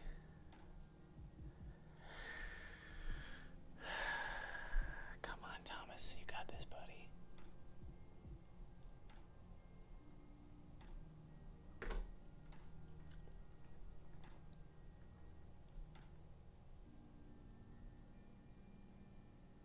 Okay, Anders Edge, what is it? Shift S, cursor to selected. Ah, yes. Shift cursor. There we go. Okay. Yay, we did it. Thank you. All right. And then and then I go to my object mode and I say object set origin uh, to 3D cursor. Good. Okay. Now now what I want to do is set its location to 000. That's the theory. There we go. Nice and flat. Gracias. All right, save that out. And we're gonna go ahead and revert the position of the actual coat rack here. Good, all right. So what does this mean, guys? Well, it means that we can actually move this. We can move it back inside of blend file, actually. We're totally fine just simply moving this. Oh, crap. We need to make sure that that origin is uh, you know, I'm actually okay. How do I just move the, the origin? Um, so if we grab the origin, oh, Thomas, what am I doing here? This, the origin stuff is always a pain.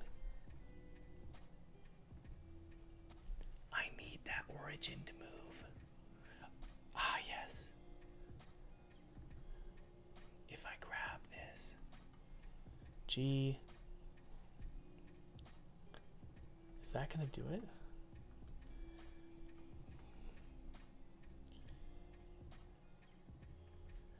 I know it's painful, isn't it, guys? Watching, watching me fail.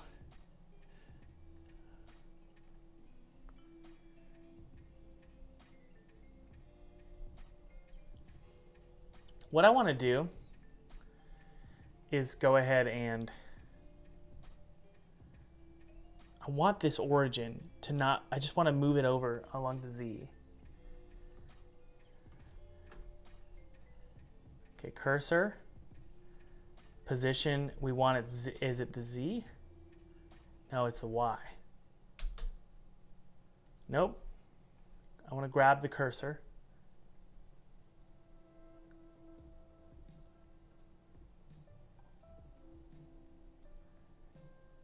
There's a tick box to move origin with the gizmo. Where? Right here?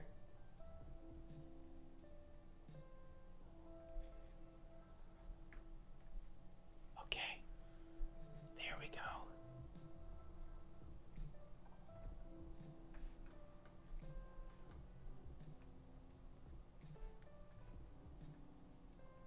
Okay. Thank you. Oh my word. That's a little weird, but we've got it. We've got it, y'all.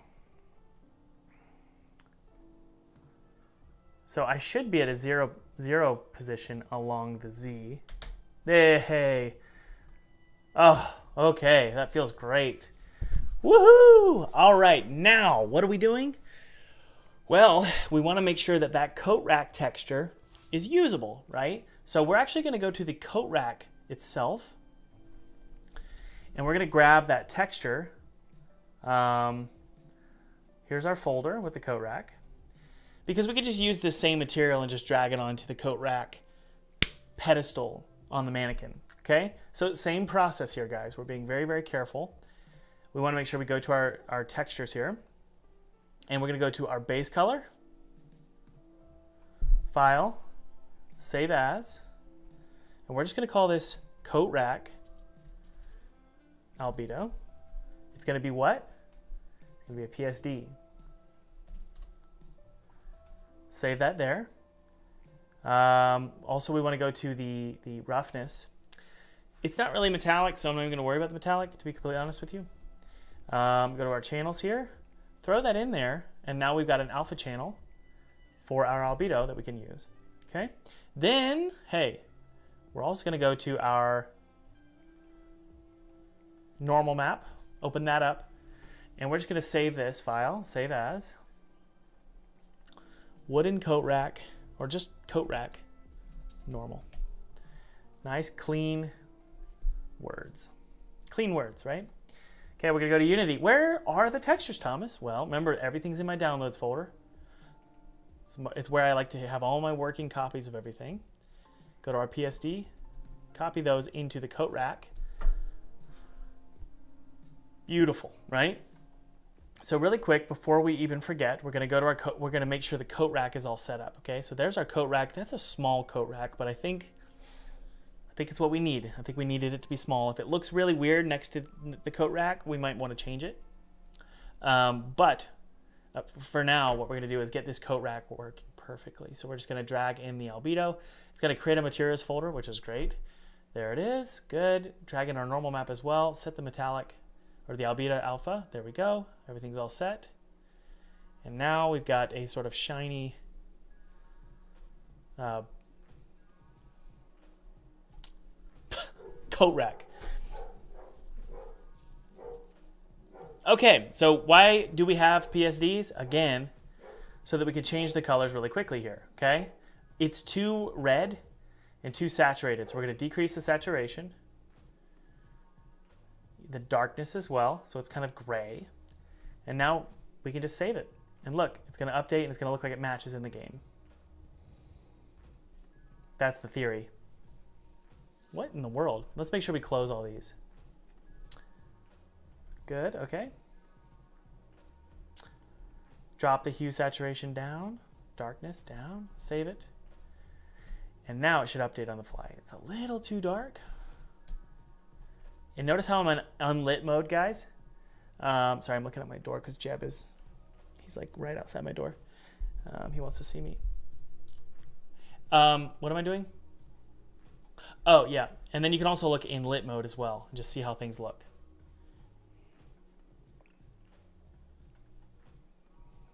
Okay, let's go ahead and add a box collider, or actually just a pushable object. And I'm going to go ahead and take these values. We really need a nav mesh obstacle on there as well. If it's going to be pushable, we want a nav mesh obstacle. So we're going to paste that as new. Um, and then also the pushable object itself. We're going to paste that on there as well. Paste the component values. Uh, here's our box collider. Do we really want a box collider, guys? Yeah, keep it simple. Okay, so we've got a coat rack. Why don't we just go ahead and throw that into our prefabs folder. Don't freeze on me, Unity. Please don't freeze on me. Thank you, Lord. Create a variant, save it. This fella, in theory, should drag, there we go, right into scene. So we can put as many coat racks as we want. Hey, check it out. Very good. Let's grab our axe here and see if it works. That was a weird rotation that occurred. But I actually think we're okay.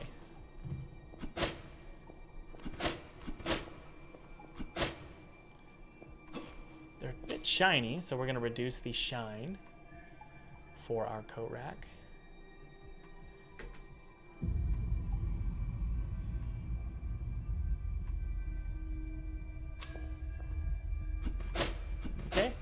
And then we're also going to make sure it's set to the proper uh, tag. So we're going to go into the prefab itself, and we're going to set the tag to what? Wood. All right, so the coat rack is all, watch out, Thomas. The coat rack is all set up. And remember with that material, guys? We can go ahead and just add it here as well. Um, so we're going to go to, what is it called? Coat rack. We have our material here, ornate wooden coat rack. There we go. It's all ready to go. So we have our mannequin, right? Um, we're just going to make a big um, pushable object on the entire, well, I'm going to create two versions, okay? We're going to have this version, which is just the standard mannequin without the coat rack. And it's going to have a pushable object on there. Um, box collider. That's not set up properly. That's okay. So we can just do this. Good.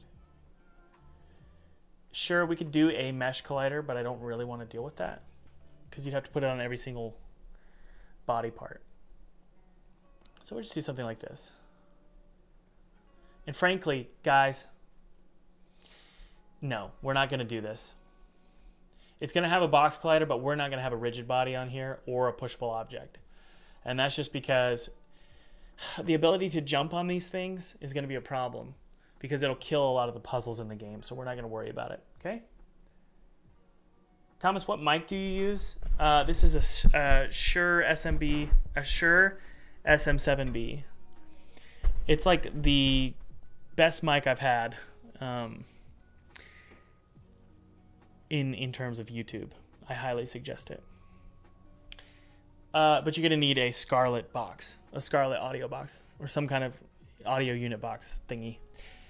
Um, okay, so we're gonna remove the rigid body as well, and just have a box collider. Okay, just so the player can't knock it over. Um, so let's go ahead and basically, we're gonna go ahead and create a variant out of this. So this is gonna be called mannequin variant, right? But also we're gonna create one that is the mannequin um, without legs. Okay.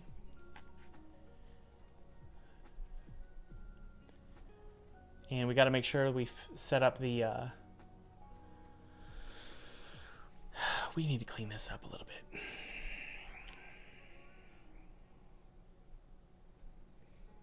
Okay, so we have our mannequin, but th the problem is, is I feel like the it just needs to be a little bit taller, and I think that needs to be, yeah. So let's do this.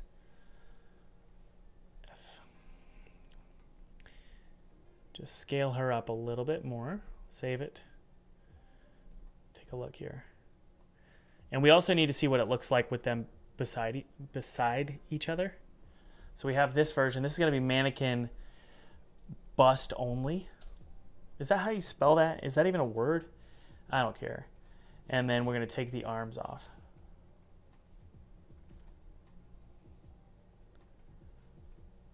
See, definitely too shiny.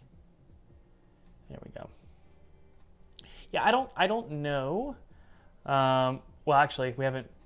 Careful, Thomas. We need to drag this, and this is a variant of the variant. Okay, so we're going to drag the regular mannequin in there. Now, let me ask you guys a question. Does a does a mannequin are they able to stand when they have legs? I'm trying to figure this out. Like does that even make sense? You know?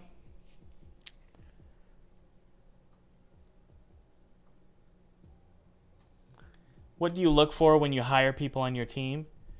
Uh, humility, um, willingness to listen, uh, a, a understanding of the artistic vision of my style of games, because it's difficult for me to try and convince people to do stuff.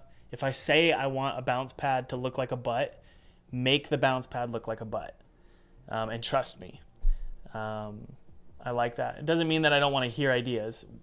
Believe me, we have tons, but those ideas are always within the within the Thomas Brush uh, sort of abstract vision. But what we could do here is like disable certain things so that, that they things don't get repetitive. So that's kind of cool. Cool. Okay. Um, well, that looks great. Let's hit play here. They have a socle, a metal stick. Okay. So what we might want to do here Yeah, what we might want to do here, guys, is make that middle piece really thin. So it could be that it's just that piece. So let's go to edit mode here. And we're going to squash by to 25% and squash in the Y at 25%. Like that. That actually might look great. Let's take a look. Ah, yes, it's a little thin. So let's try again. Scale in the X by 0.35. Scale in the Y by 0.35. Save. Let's take a look. It, it really helps to just constantly hit play mode to give you an idea of scale scale is one of the number one reasons why your game doesn't look good. You want scale to be, and I've I've suffered with this a lot, trying to get scale perfect. Um, but I think that's a little too thin. We could probably get away with scaling up the entire thing, um, and then just having the bust um, a little higher up, you know. Okay, here we go. That's kind of good. I mean, it's not perfect, but it's fine.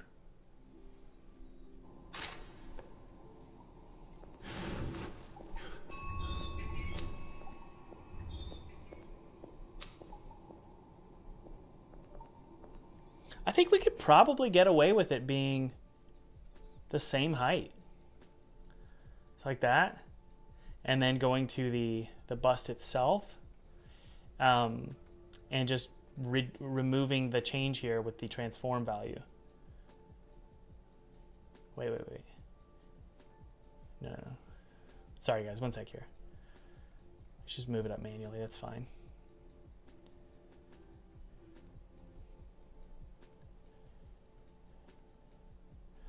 I just feel like it needs to be a little lower. I don't know why. Just needs, I don't know. It's just too high. Um, okay, so question then. Um, it always needs to have that stick going up through it. Is this true? Um, if that's the case, we need to go to pose mode here.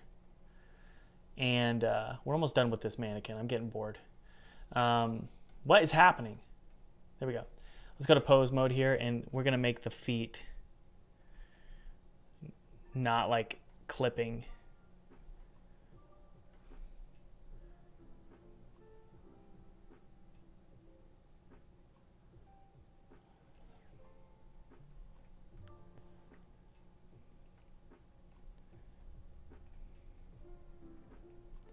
Yeah, we don't want it clipping the wood.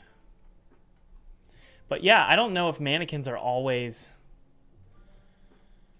always on this little pedestal thing.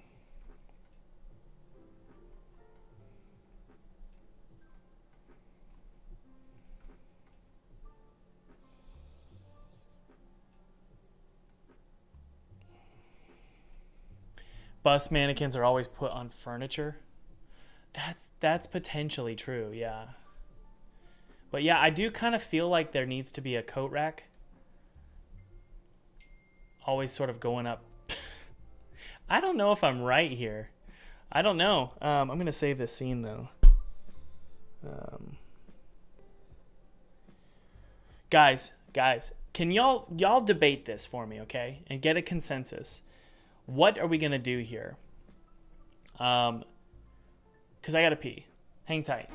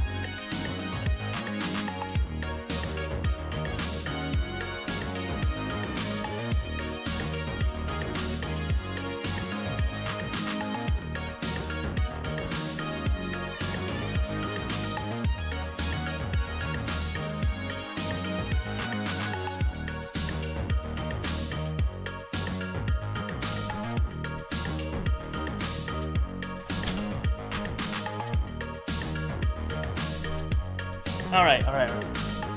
Um, that feels great. Wow. Okay, does anybody have any thoughts here? If, if it's a full body, it's typically foot bolted into base. If it has support, it's into the back. Uh, not into the groin, is what you're saying? Um, yeah, that's this is what we're gonna do. I'm fine with it being this way. Let's go ahead. There's just only so much we can worry about, guys.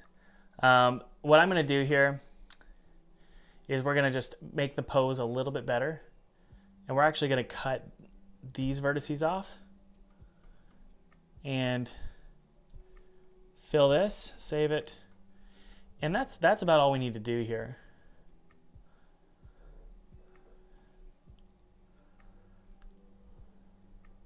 But let's make it kind of like a cute pose.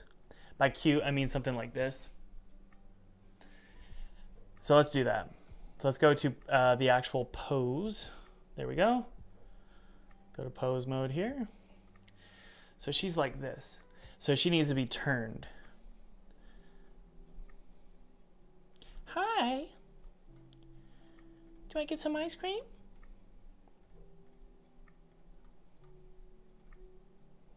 And she's like, oh yeah, she's gonna have her heel.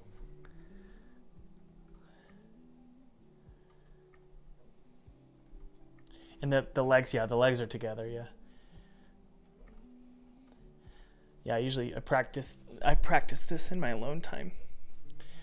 Okay, there we go.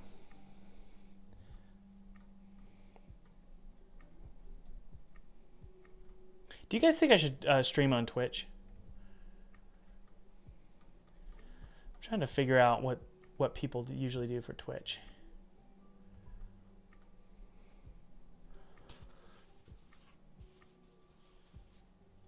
Nah. no, Twitch bad. Why? I can do multi-streaming. Jeez. Oh, there we go. That's cute.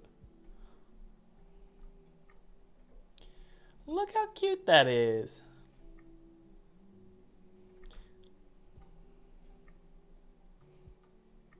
But the head is usually turned like this. So it's actually the other way. All right, there's only so much we can do though.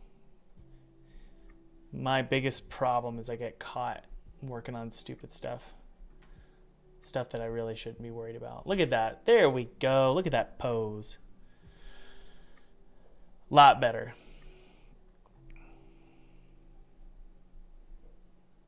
And what I'm going to do with this armature here is just bring it down a little bit. And watch, you're going to hate me, but we're going to do a negative just like that. So it's the opposite. And I say that because you really don't want to do negative values like that, but whatever. Okay, let's hit play and take a look.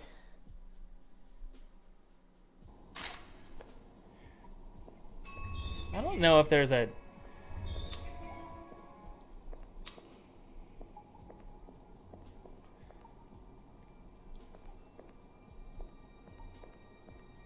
Watch this. I wonder.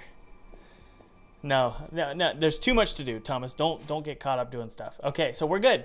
How do we feel about the mannequins, guys? Good. Oh, one sec. I'm sorry. I just want to get this perfect here. There we go. I just feel like it should be lower like this. I really do, guys. I don't know why. I'm just going to do it. We're going to just pray that that's what we, we need to do here. Um, okay, we're good. Look at this, guys. We've got mannequins and we've got fire extinguishers. Let's explore and see the progress we've made. And then we're going to go back to today's tasks and see what we need to work on, okay? All right.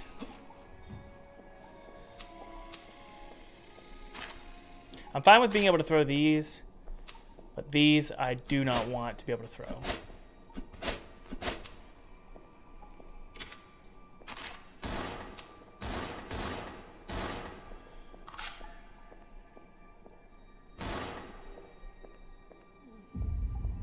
Great. And one of the cool things we can do with these mannequins is, let's see here. I need to send a message to my team. They're waiting for me for a meeting. You can like disable arms and stuff and heads. Isn't that cool? So overall, we got pretty sweet mannequins here.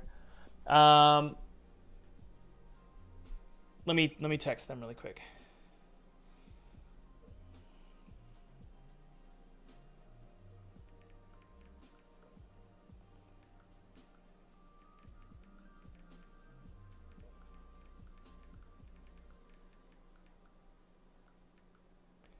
Okay. Um, what's next? What's next? What's next? We've got cobwebs. Don't really want to do that. Um, I think we've got some of those anyway. Or we could do hanging ivy. You guys want to double check? Okay, so we've got Sketchfab, and then we've also got Turbo Squid. So let's jump on in, take a look here. I want to do a wall telephone, vintage wall telephone. Let's hope that there is one. There we go, 25 bucks. And I'm gonna guess that we can, that one actually works great.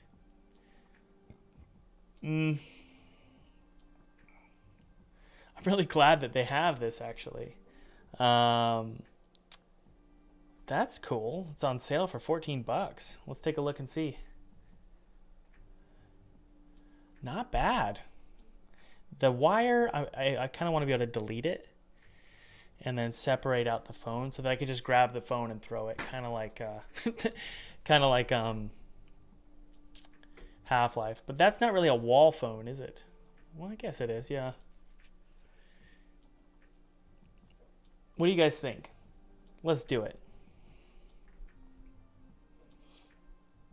I'm gonna buy this really quick, guys. It's only 14 bucks. Um,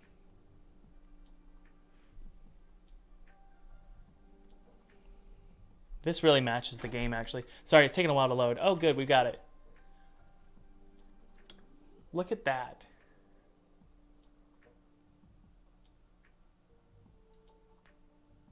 It's got, it's just dirt.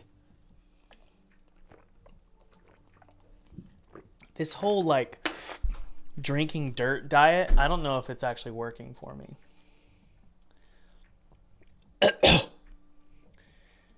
All right, let's go ahead and download this.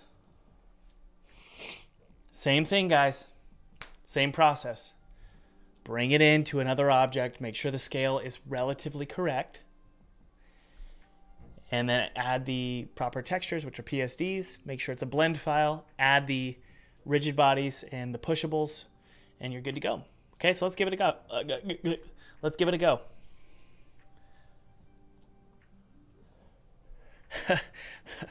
All right, so let's. Uh, apparently, the OBJ is the way to do this. Um, so we're gonna call this phone. Open that, save, and extract. Okay, we've got materials, we've got objects, but we don't have the textures.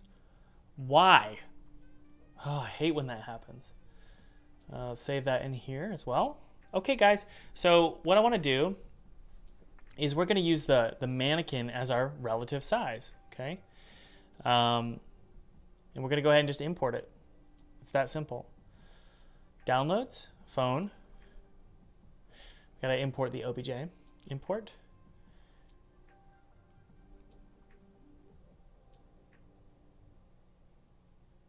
I almost had a heart attack. I couldn't find it. Okay, go to downloads, uh, phone, Good, there we go. All right. Where's my phone? Okay, so we're gonna scale this down significantly and we're gonna basically make the phone the size of the mannequin's head. I think that seems reasonable, right?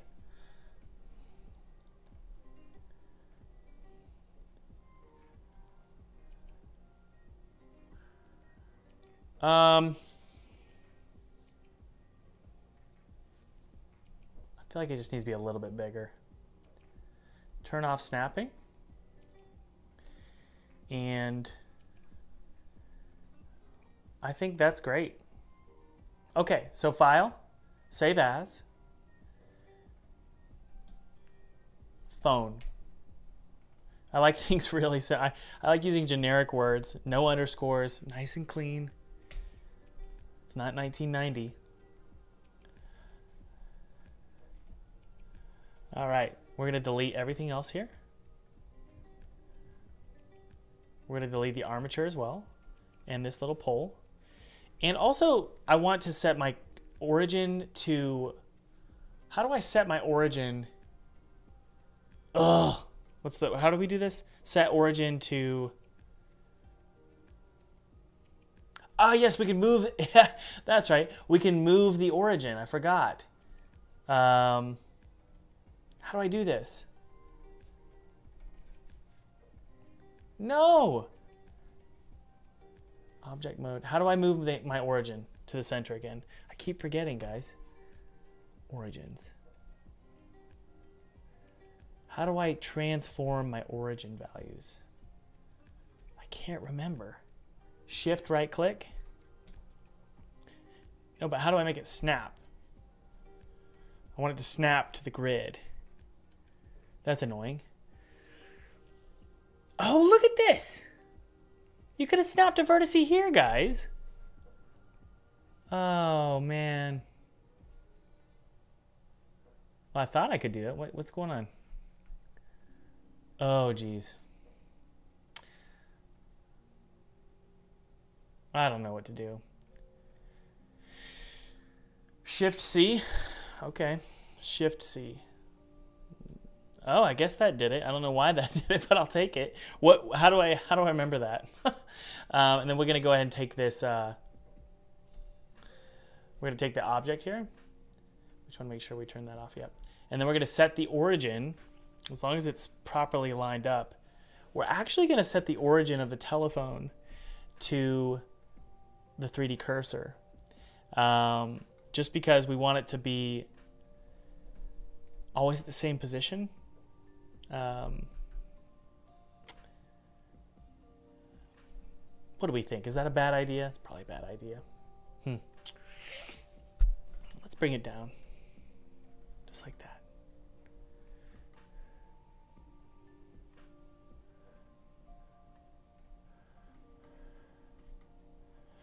Origin. Okay, so I'm trying to remember how to do this. I grab this. Um, and then I shift S and then I say cursor to selected. Yay, I figured it out. Or, well, you guys did, but I remembered it. Um, set origin to 3D cursor. Then I can drag it down and put it at a zero position. There we go, guys. Look at that. Now it's nice and clean. I like it. I'm happy with it. Apply all transforms. And then remember the rotation? Rotation X negative 90. Apply all transforms. Rotation X positive 90. Yay! So it's going to be a nice zero rotation inside of Unity. Now, here's the thing, guys. Eh, I don't mind the vertices. I think they're it's a little much there, but definitely the wire is causing me problems. So the wire here, I'm actually going to remove it.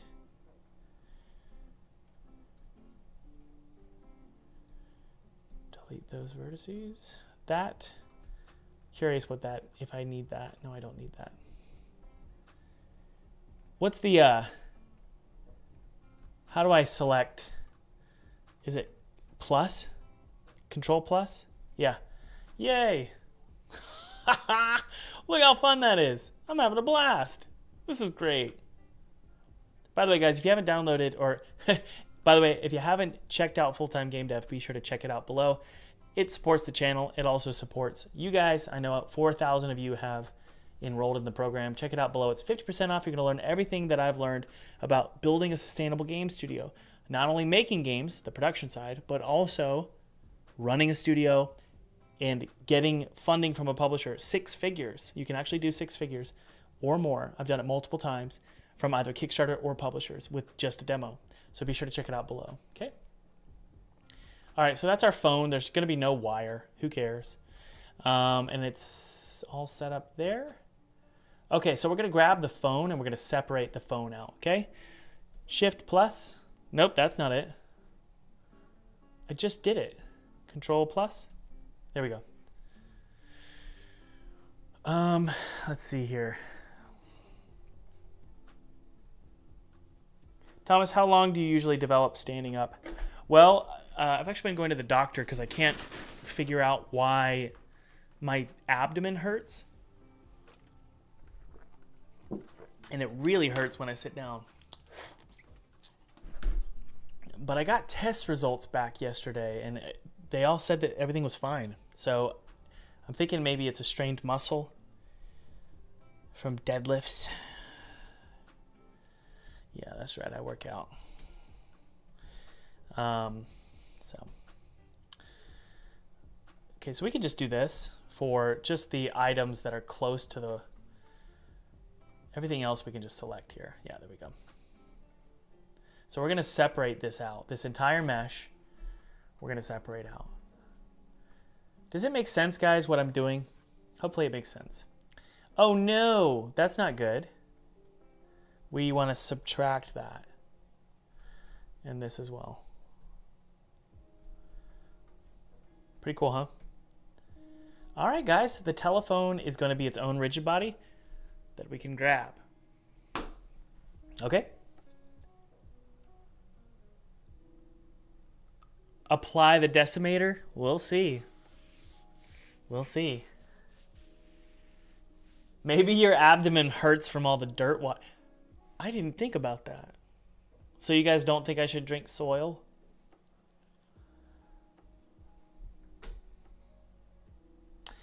Mesh, separate, selection. Yay! So he's or his origin will be at the center of the mass.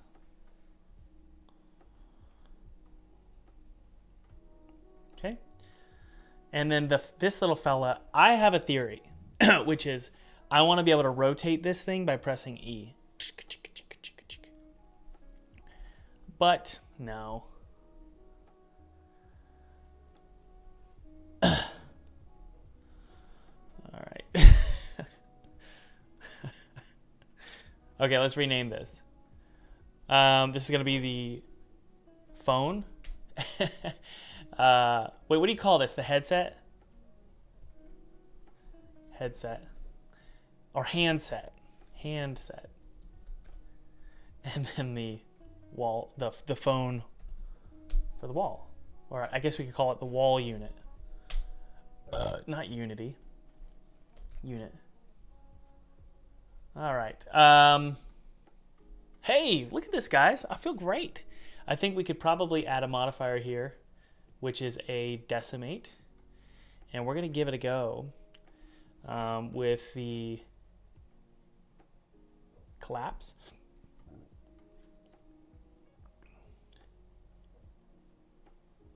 Doesn't really need it, does it? It just makes it really bad. I think that this we could probably maybe do. Decimate. And then do... We could try unsubdivide. Nope, that ain't gonna happen.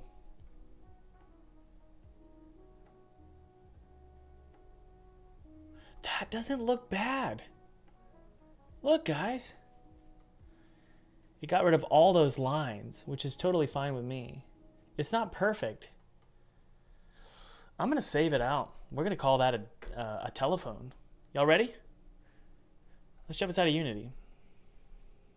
I'm thrilled.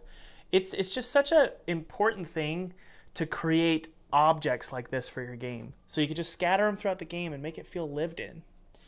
Um, what's it called? Telephone. No, it's called phone.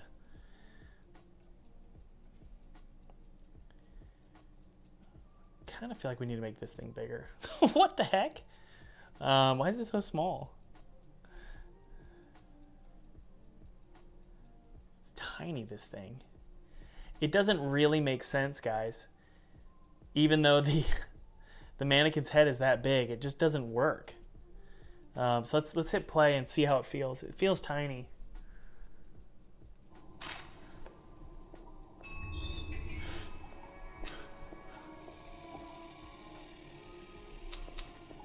Yeah, we're going to make it bigger.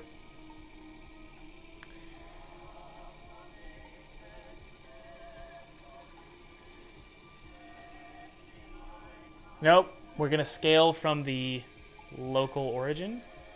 I want to scale from the pivot.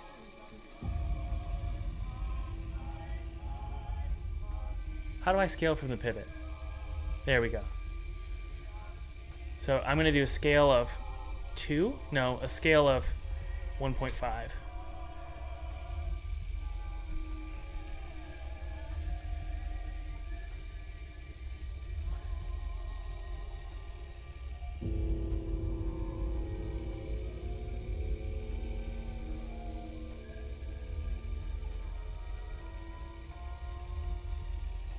Save.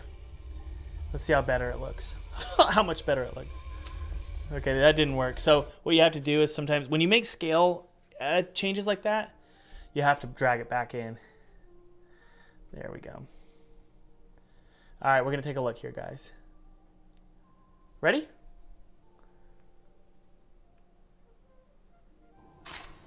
Why would a landline phone be in inside of a chamber full of mannequins? Because this is a theme park. And that's what this whole milestone is all about. Okay, so we need to be able to grab that. Okay, looks good. I like it. Let's go ahead and go to our, um, make sure the phone is properly sitting there. Drop that down a little. Okay, save it. I'm gonna close all this. I'm getting kind of overwhelmed. And let's um drink some soil.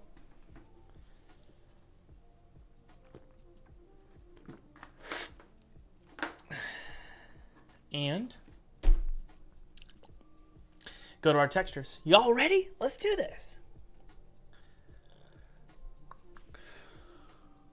What am I doing? Okay, phone. I'm having a blast, but I am getting a little tired, but that's okay.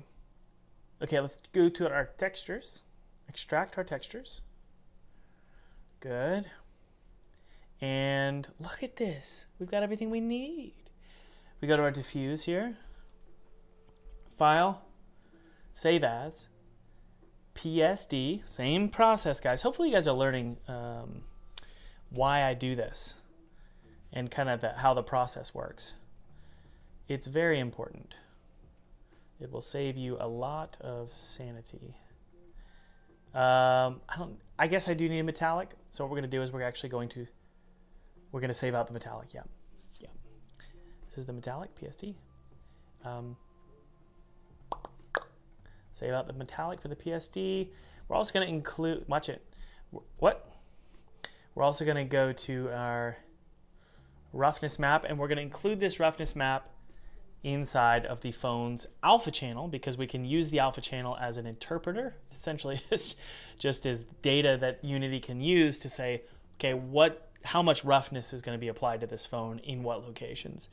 And that's what the roughness map is for. Um, on that channel, on the alpha channel. Good. Okay. What about the normal map, Thomas? Well, let's go ahead and open that up. What? Surely you have a normal map. Are you kidding me? Surely you have a normal map. Nope. There's not a normal map there. What the, sorry, what the heck? I guess we could use this and create one. Let's try it out. How is there no normal map? That's weird. Click, uh, yeah, that'll probably do it. I mean, it's not gonna be perfect, uh, but fine, I guess. Let's try it. Um, that didn't work. Oh, jeez. Why would you not include a normal map? so frustrating. Um, unless I'm missing something.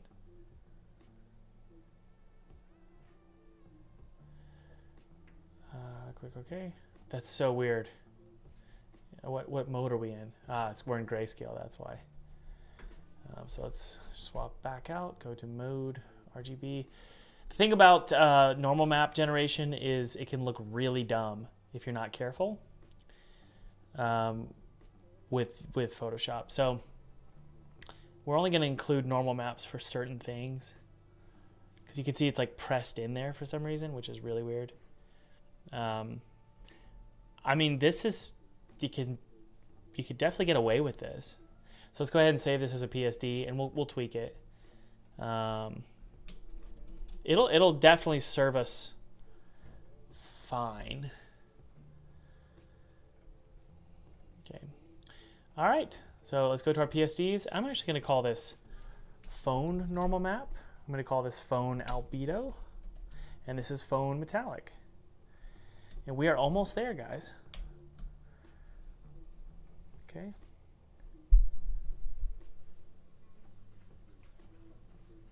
Dante DeKelly says it's going to look worse. Well, we shall see. Maybe, maybe you're right. You might be. And it's no skin off my nose if you are. What is that? We don't need that. Metadata, huh? That's weird. Blend one file. I don't like blend one files. Don't know why they appear in Unity, but it's okay. All right, guys, we've got our textures. Let's drag it on there. Um, where's my phone? Handset? Good. Oh, we don't even need to do any unwrapping. It's all good to go. Look at that, fellas. Okay, so that's what it looks like without a normal map. And so what we're going to do um, is let's throw in the metallic as well. Better, better. And also albedo alpha is the the map for the shine. So the reason why I want a normal map is because I need it for this. Okay? Stuff like that. Because we decimated it, we need that normal map. Um, occlusion map. Does anybody know if occlusion maps actually do anything? I always struggle with occlusion maps. Um, like for example, this uh,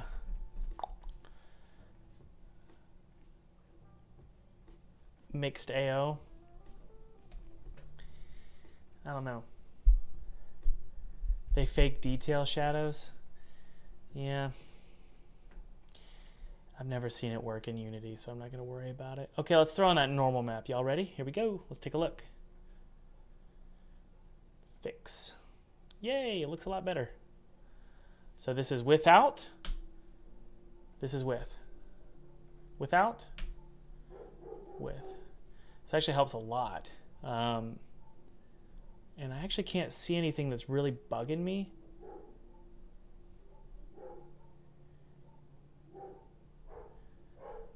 That metallic map. I think what we need to do is we need to make sure that roughness map has a lot more contrast. Sorry if you can hear Jebby barking, guys. He's screaming. He's so mad. He's just gonna go crazy. All right, y'all ready? Let's open up that albedo and let's go ahead and change the contrast of this alpha. So we're gonna do some crazy contrast. What is this, guys? This is the roughness map, meaning the white is super shiny and the brown, or the, I'm sorry, the, the black and the grays are not. Oh, this music is giving me like crazy emotion. Oh.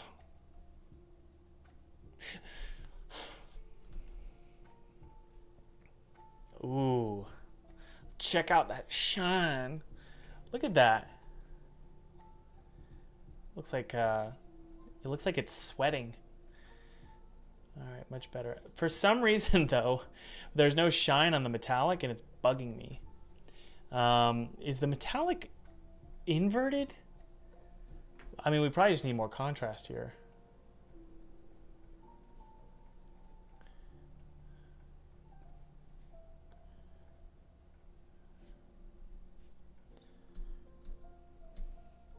Why are you doing that? Like, It's fine. I mean, there's only so much I can do here. But we do need to match the, uh, the colors, okay? So what we're going to do is we're going to go to the albedo, and you guys are to love this.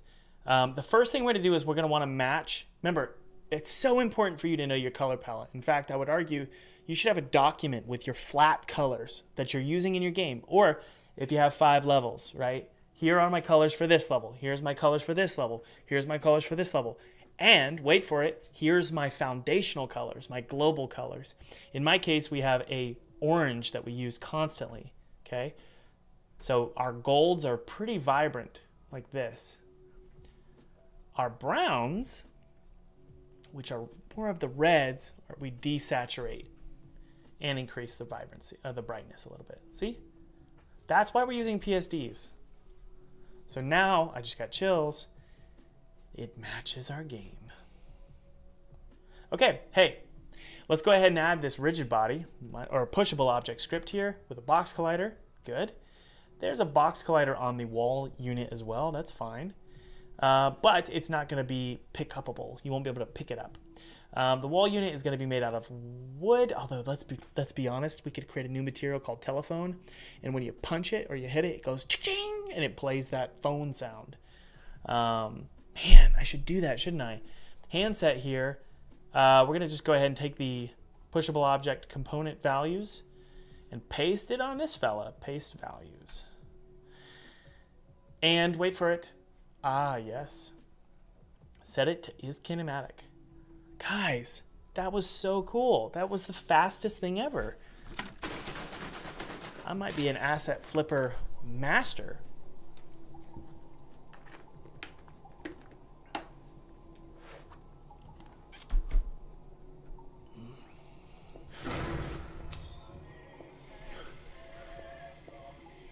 Can't pick him up.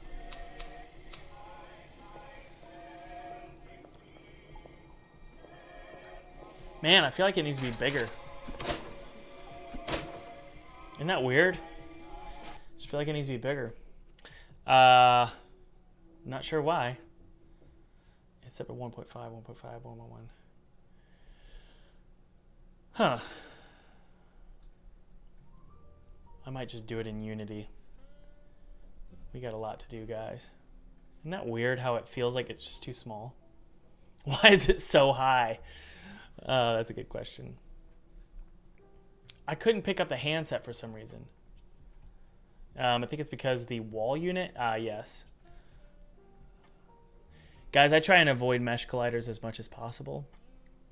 So I tend to tend to avoid them.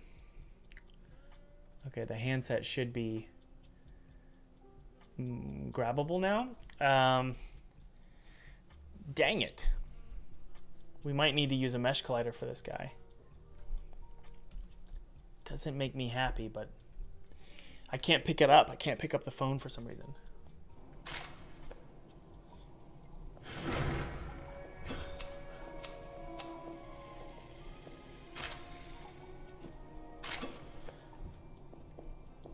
Classic.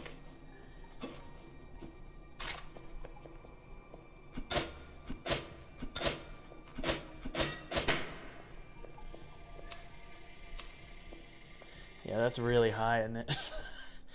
um, yeah. Okay, so yeah, hey. He's all set, dude. One more time. Let's hit play, just to make sure. By the way, the branding on this uh, fire extinguisher is all wrong. We're in the 1920s. I need to fix that. This is, is wrong.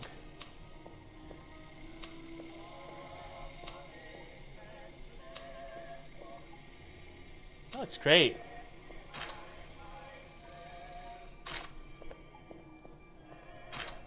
Get out of here. Okay. That's great. Let's see if this fix, uh, well, let's make a prefab out of it. Um, we're going to make sure that this is called wall phone. No, don't do that, Thomas. We, will just need to trust that, that uh, everyone knows what they're doing. So let's drag this in here. Oh my goodness. I love it. Okay, so we've got a cool phone here that works great. Let's fix this branding. Again, guys, this is why this is why we uh, make everything Photoshop. Okay. This branding looks terrible. Uh, or just, I guess, the topography. It needs to look like the the 1920s. And so what we're going to do is we're going to do some silly text. All right. Um,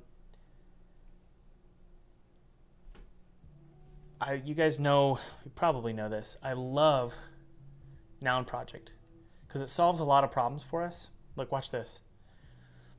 If I go to Noun Project, I could type in flourish, and you're going to get all kinds of cool, like 1920s flourishes. Um, and we don't want to waste our time, guys. You know, we've got a lot of things to do. So you, you'll notice this if, if you play Bioshock, especially if you revisit it the graphic design isn't great. Um, some of the stuff is really kind of cheap looking. And I think it's because there's a lot to do um, in world building. And so with small stuff like this, you just got to get moving. Um, so we're going to do fire. see if we can find a cool fire. Yeah, this works for me. So now it has a more 1920s vibe. We could even do like this and cut it here.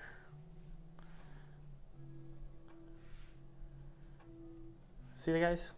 It's kind of cool. And then the flourish, we could even blend into the white. We got a lot to do. And so worrying about all this is not it's not on my list of priorities. Uh, you're going to learn as you make games what you should be focusing on and what you shouldn't. Why am I focusing on this? Well, because there are three parts of a Trinity hook. A Trinity hook is what makes your game marketable, what makes it something that you can actually sell. In this case, we have three points being the story, the visuals, and the gameplay if a change that you're working on, like I'm working on a change right now, if it does not solve or or help drive home any aspects of the Trinity hook, you're wasting your time. You're just being cocky. And I'm being serious there. Oftentimes we're so cocky about our games that we think that we have to change everything to make people happy. In reality, all you're doing is making yourself happy. Um, what was that messaging? Um, I'm gonna I'm gonna have some kind of weird phrase.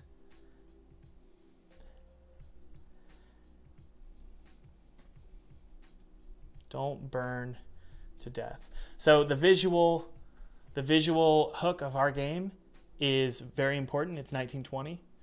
It's Bioshock. It's got a very Bioshock feel. So it's important that the branding matches that. So that's why I don't feel like we're wasting our time here. Uh, what, what's this? Uh, Garamond.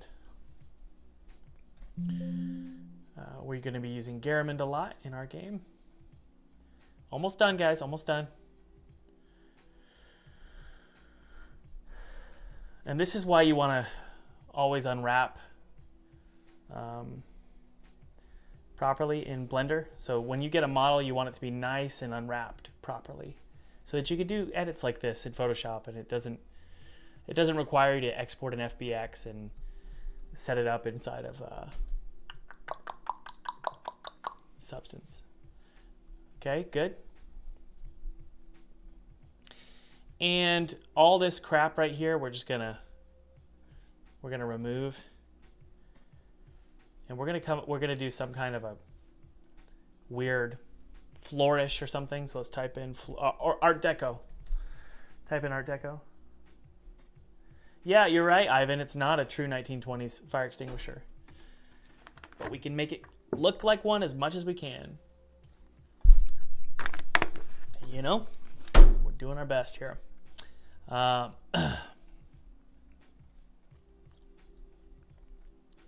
one of the ways we can make it look like a fire extinguisher from the 1920s is I believe we could uh, um,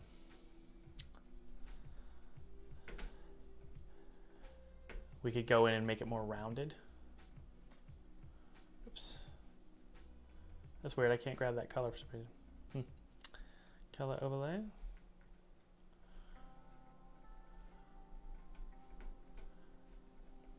Okay, save that out and open up Unity here.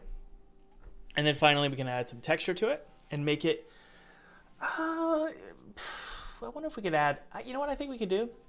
we could add some, um, oh man, rust to it. So let's go ahead and see if we've got some rust texture we can use. Oh, good, we do. Let's grab that. Quick, quick 20s fix. Remove the hose and put a crank on top and then change it to a copper color. I think copper is definitely what we want to do here. But let's give some rust to this really quick. Do an overlay here. Save that. Okay, so far so good. We're getting there. And what we want to do is we want to just take this bit here, paste it, and then we can loop it. Look, watch.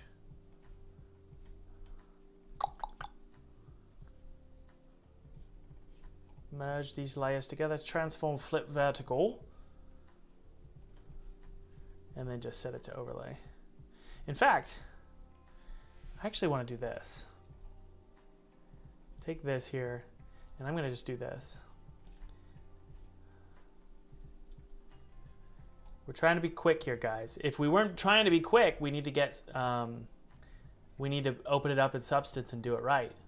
But There's a lot to do in this game, and the fire extinguishers are the last thing on my list of things to worry about.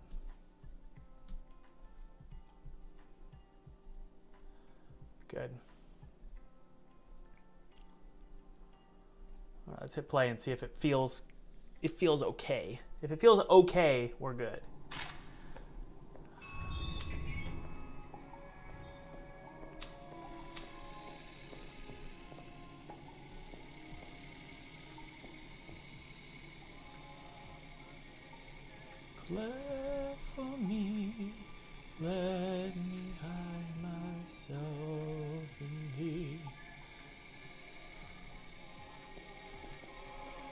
Needs metallic map. Okay, it needs to be metallic. Okie dokie. So let's go to our metallic here. Look at that. There we go. Yay. Okay, we're getting there. Uh, do the metallic map, and then um, we don't need metallic on the hose. Uh, so what we need to do is create a metallic map. So therefore, what we do is this right here, this right here. I'm gonna be quick here, guys. Actually, watch this. You just grab it right here. Um, There we go. All this crap here. We don't want it to be metallic. We're just being quick and quick and effective here, guys. So we want this to be ignored by the the the, um, the metallic map, okay, guys? But also, what we want to do with the metallic is create some a rust effect. And so what you do here is this would be insanely contrasted, like this. Drop down the hue saturation. We may even do a, a posterizing effect. We could probably do that. Let's keep keep keep adding contrast here, guys.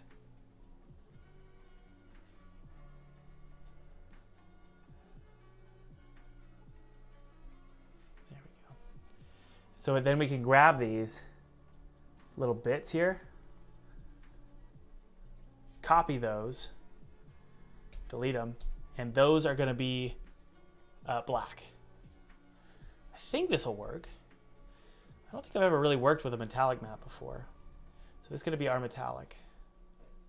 Fire extinguisher, metallic. And this will also be the roughness map as well. So we could just literally just grab all this, copy it, and then go back to the albedo and go to our channels here. This is our I have a theory that's what we want. Let's double check.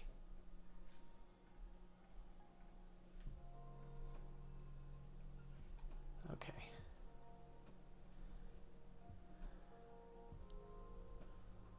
Good, good, good, good, good. And then all we can do with our metallic, Finally, we just do this. This is why I love using PSDs.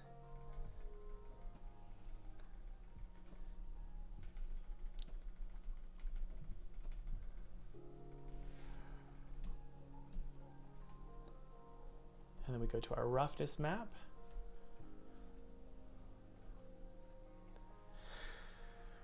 Channels. Just creating some subtle roughness.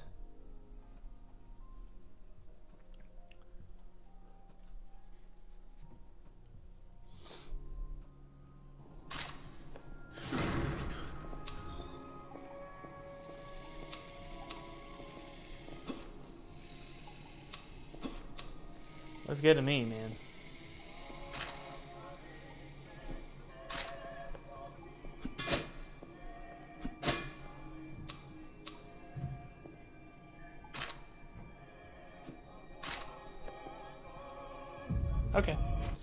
That's fine by me. It's not perfect, but it's whatever.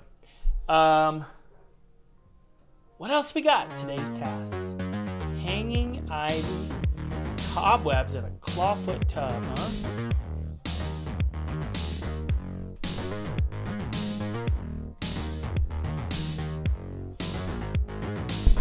We're looking for something very simple.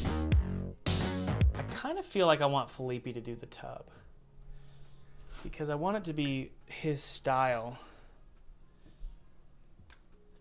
Hmm.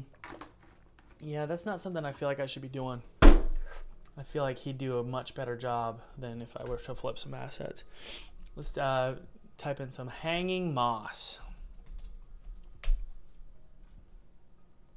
I feel like I feel like with Unity Asset Store we would get a much do a much better job with doing some hanging ivy here.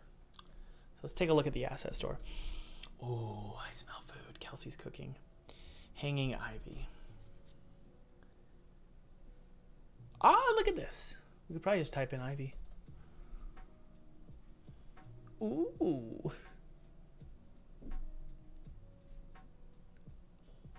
This looks good. There's a lot of options actually.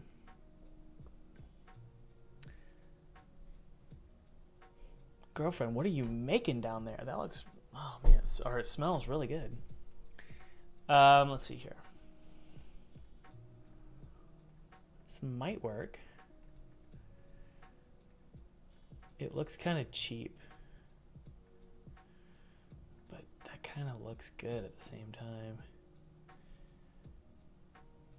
20 bucks. Jeez and crow. Let's see here.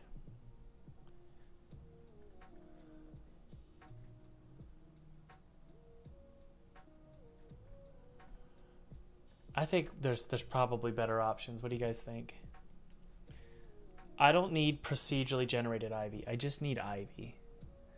Can you give me a close up, please? Yeah, that's better. Are you in Florida right now? No. I'm in uh, South Carolina. I'm just uh, in South Carolina. Um. Yeah, I like it. Let's grab it. Grab some ivy here. Okay, guys.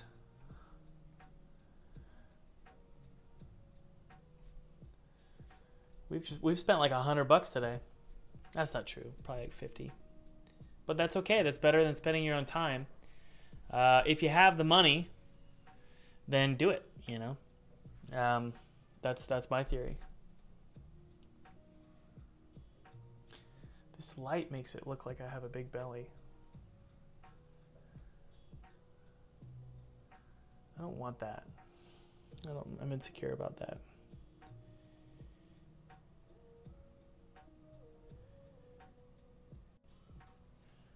Okay, uh, let's open this up. You guys ready? I got a tinkle again. Uh, download the Ivy pack.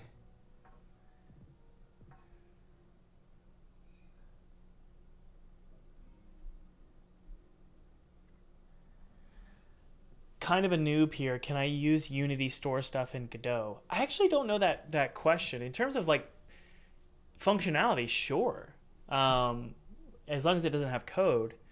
But in terms of the license? I'm actually not sure.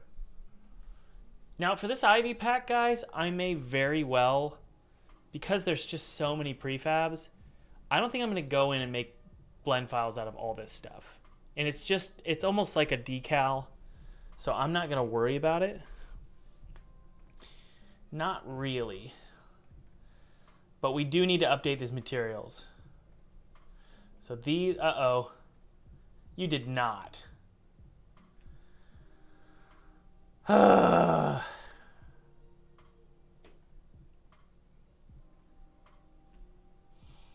so they don't have a way to up, upgrade it unless I'm missing something here. Shaders. No, they don't. Okay, I, we should be all right. Let's let's just make it uh, universal render pipeline. I don't need it to blow in the wind or anything, so.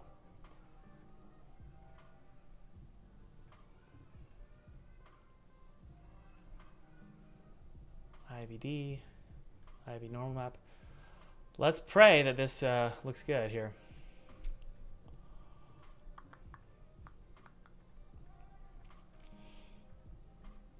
IBM. We need to set it to transparent. I don't know why it's white. The emission is turned on for some reason. Um, okay. Uh, also, we want to not preserve specular lighting. Good. hey, Thomas is gonna win today.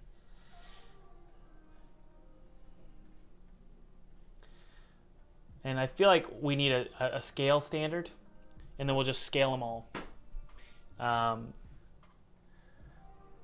and also, we'll, we'll adjust the color so that the color matches the game. And I know what a lot of you are thinking, Thomas, this, this doesn't look like it matches. Um, and you're right, it doesn't. And with asset flipping, that's the beauty of asset flipping. You can uh, you can make things match by just going into Photoshop and tweaking some colors. Okay, that looks weird.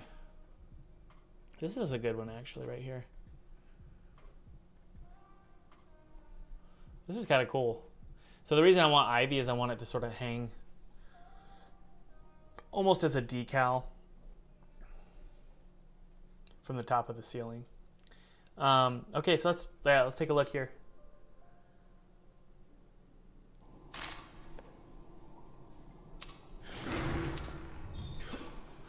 Okay, it's definitely too shiny. I also feel like it needs uh, some kind of drop shadow, and we need to render the back faces as well. Okay. And we could probably scale that up a little bit. So the standard scaling is going to be four. So let's just do that to all the prefabs, four, four, four. And those by default, that one's freaking huge. What happened here? What the F? We'll delete that and pretend that didn't happen. Um, let's see. Yeah, this feels pretty good actually. We also need moss.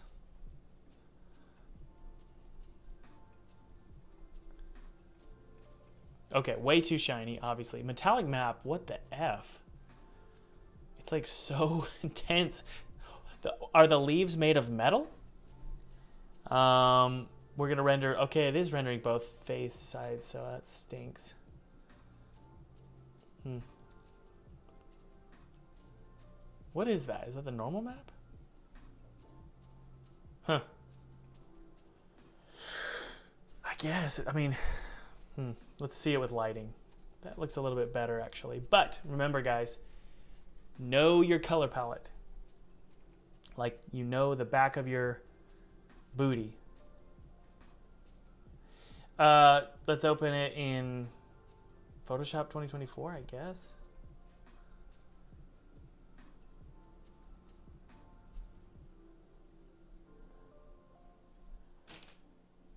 Yeah. Okay. So yeah, this is a TGA, which I hate. So we're going to go ahead and save it as a freaking PSD. Jeez, I'm crow. Why would I want that? I'm going to save it as a PSD. Um, and then we're going to go ahead and change the green to that color that we love.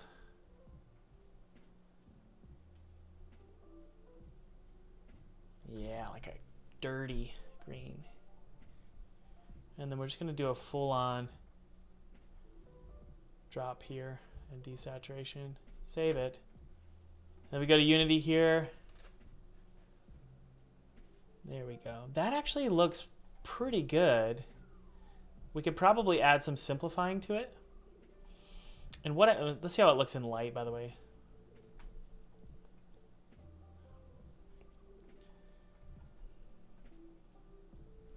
Let's take a look.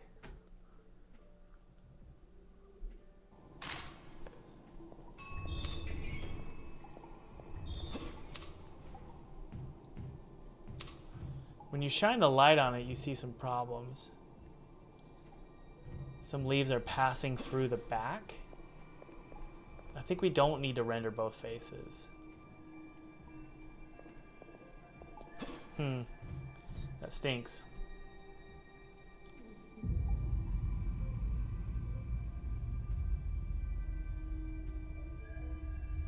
Hmm. Gosh. I couldn't tell you guys. Uh, I think as long as it's against the wall, it's going to be okay. And I feel like it needs more saturation, actually.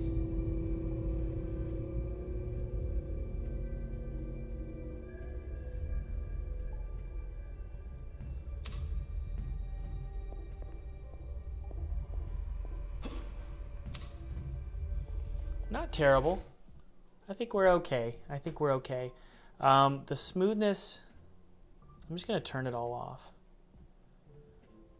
Okay? So we have our ivy now. And I think overall, I think it'll do the job. You just want to add that subtle texturing to various ceilings here. Like this right here. This is what it's for, y'all. You could even grab one here. Maybe put a big one. Look at that, see? This is what it's all for, y'all. Although I don't like the... It really should render both faces. F.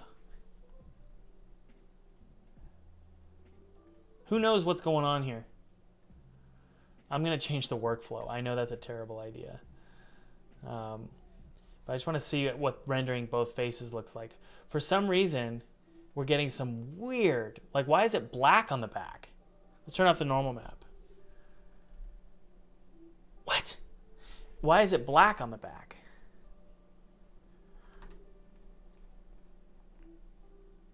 This is called Twisted Tower. Why is that black on the back? Why can I see through it?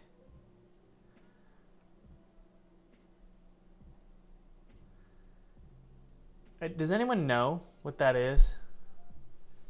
Blending mode. Oh, jeez. Alpha. Because the mesh is not double-sided.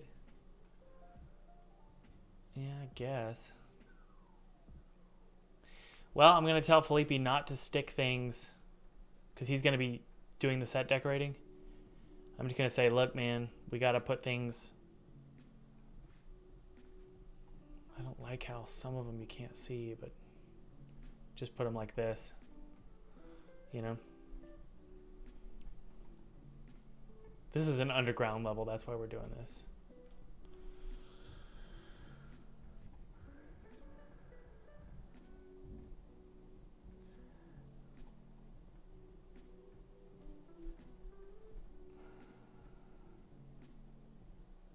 Okay.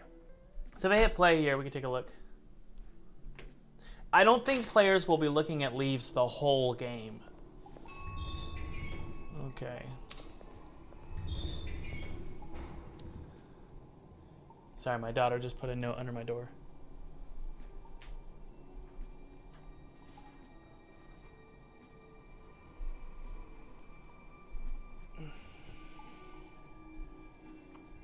Oh, look guys, what do you think?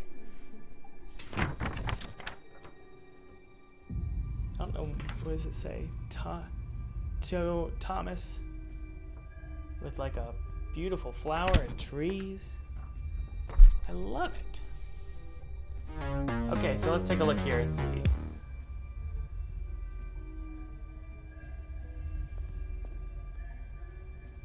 I love it. I think it looks good. Just wish. Ugh! It's driving me nuts. Both? I hate that. But whatever. There's only so much you can do, and so many things you should worry about. Okay. That's cool. We could even potentially add them to the ceiling, eh?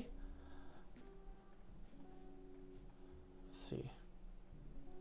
Like we did this.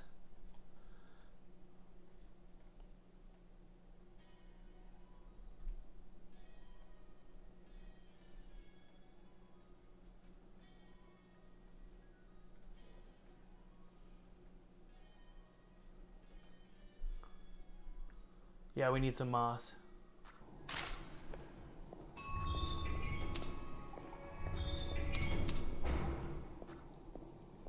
kind of feel like they should be bigger. Like 5 by 5 by 5. Yeah.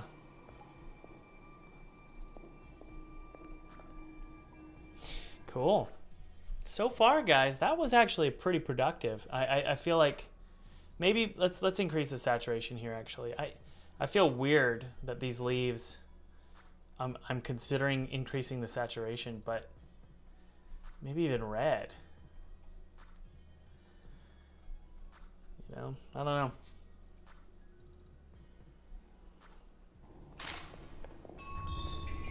One of you asked Thomas, what happened to the dog game? Well, we got published. That's what happened. We got published for Twisted Tower and kind of had to put the dog game on hold while we prioritize this game. I feel like that looks better.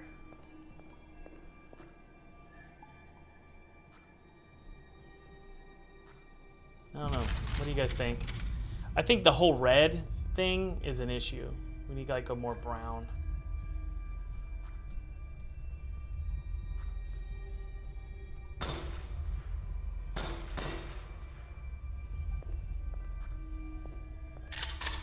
Especially for this level. I just, ugh, drives me nuts. I want to be able to see underneath those.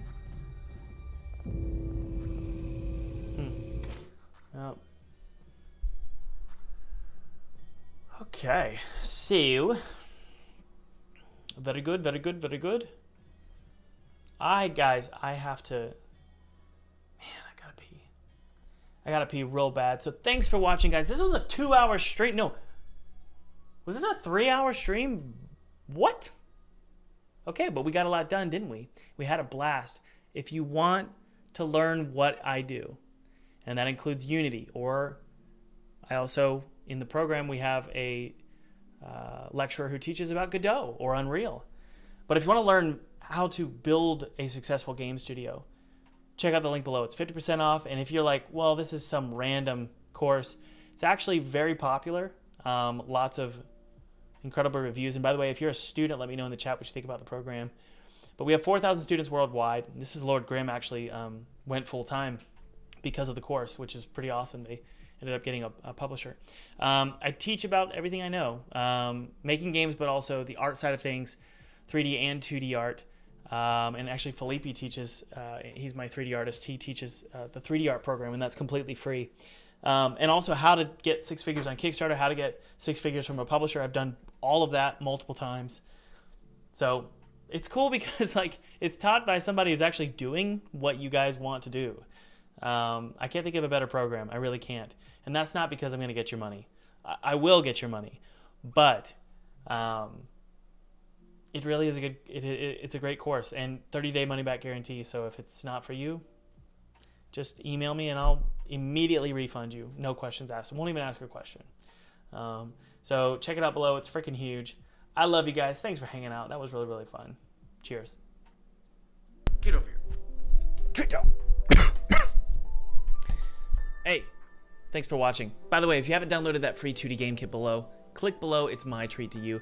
I used this game kit to make a game for PewDiePie in 14 days and I actually got to play it with him in front of his audience, which was really cool. This game kit is totally free. It's my treat to you, and you can use it however you want. You can make a commercial game and make a million bucks off this game kit. I don't care. Or you could just use it for a hobby project. It's my treat to you. And by the way, if you haven't clicked like, that would mean a ton to me. Hit subscribe. And also, this is important hit that notification bell. Here's why.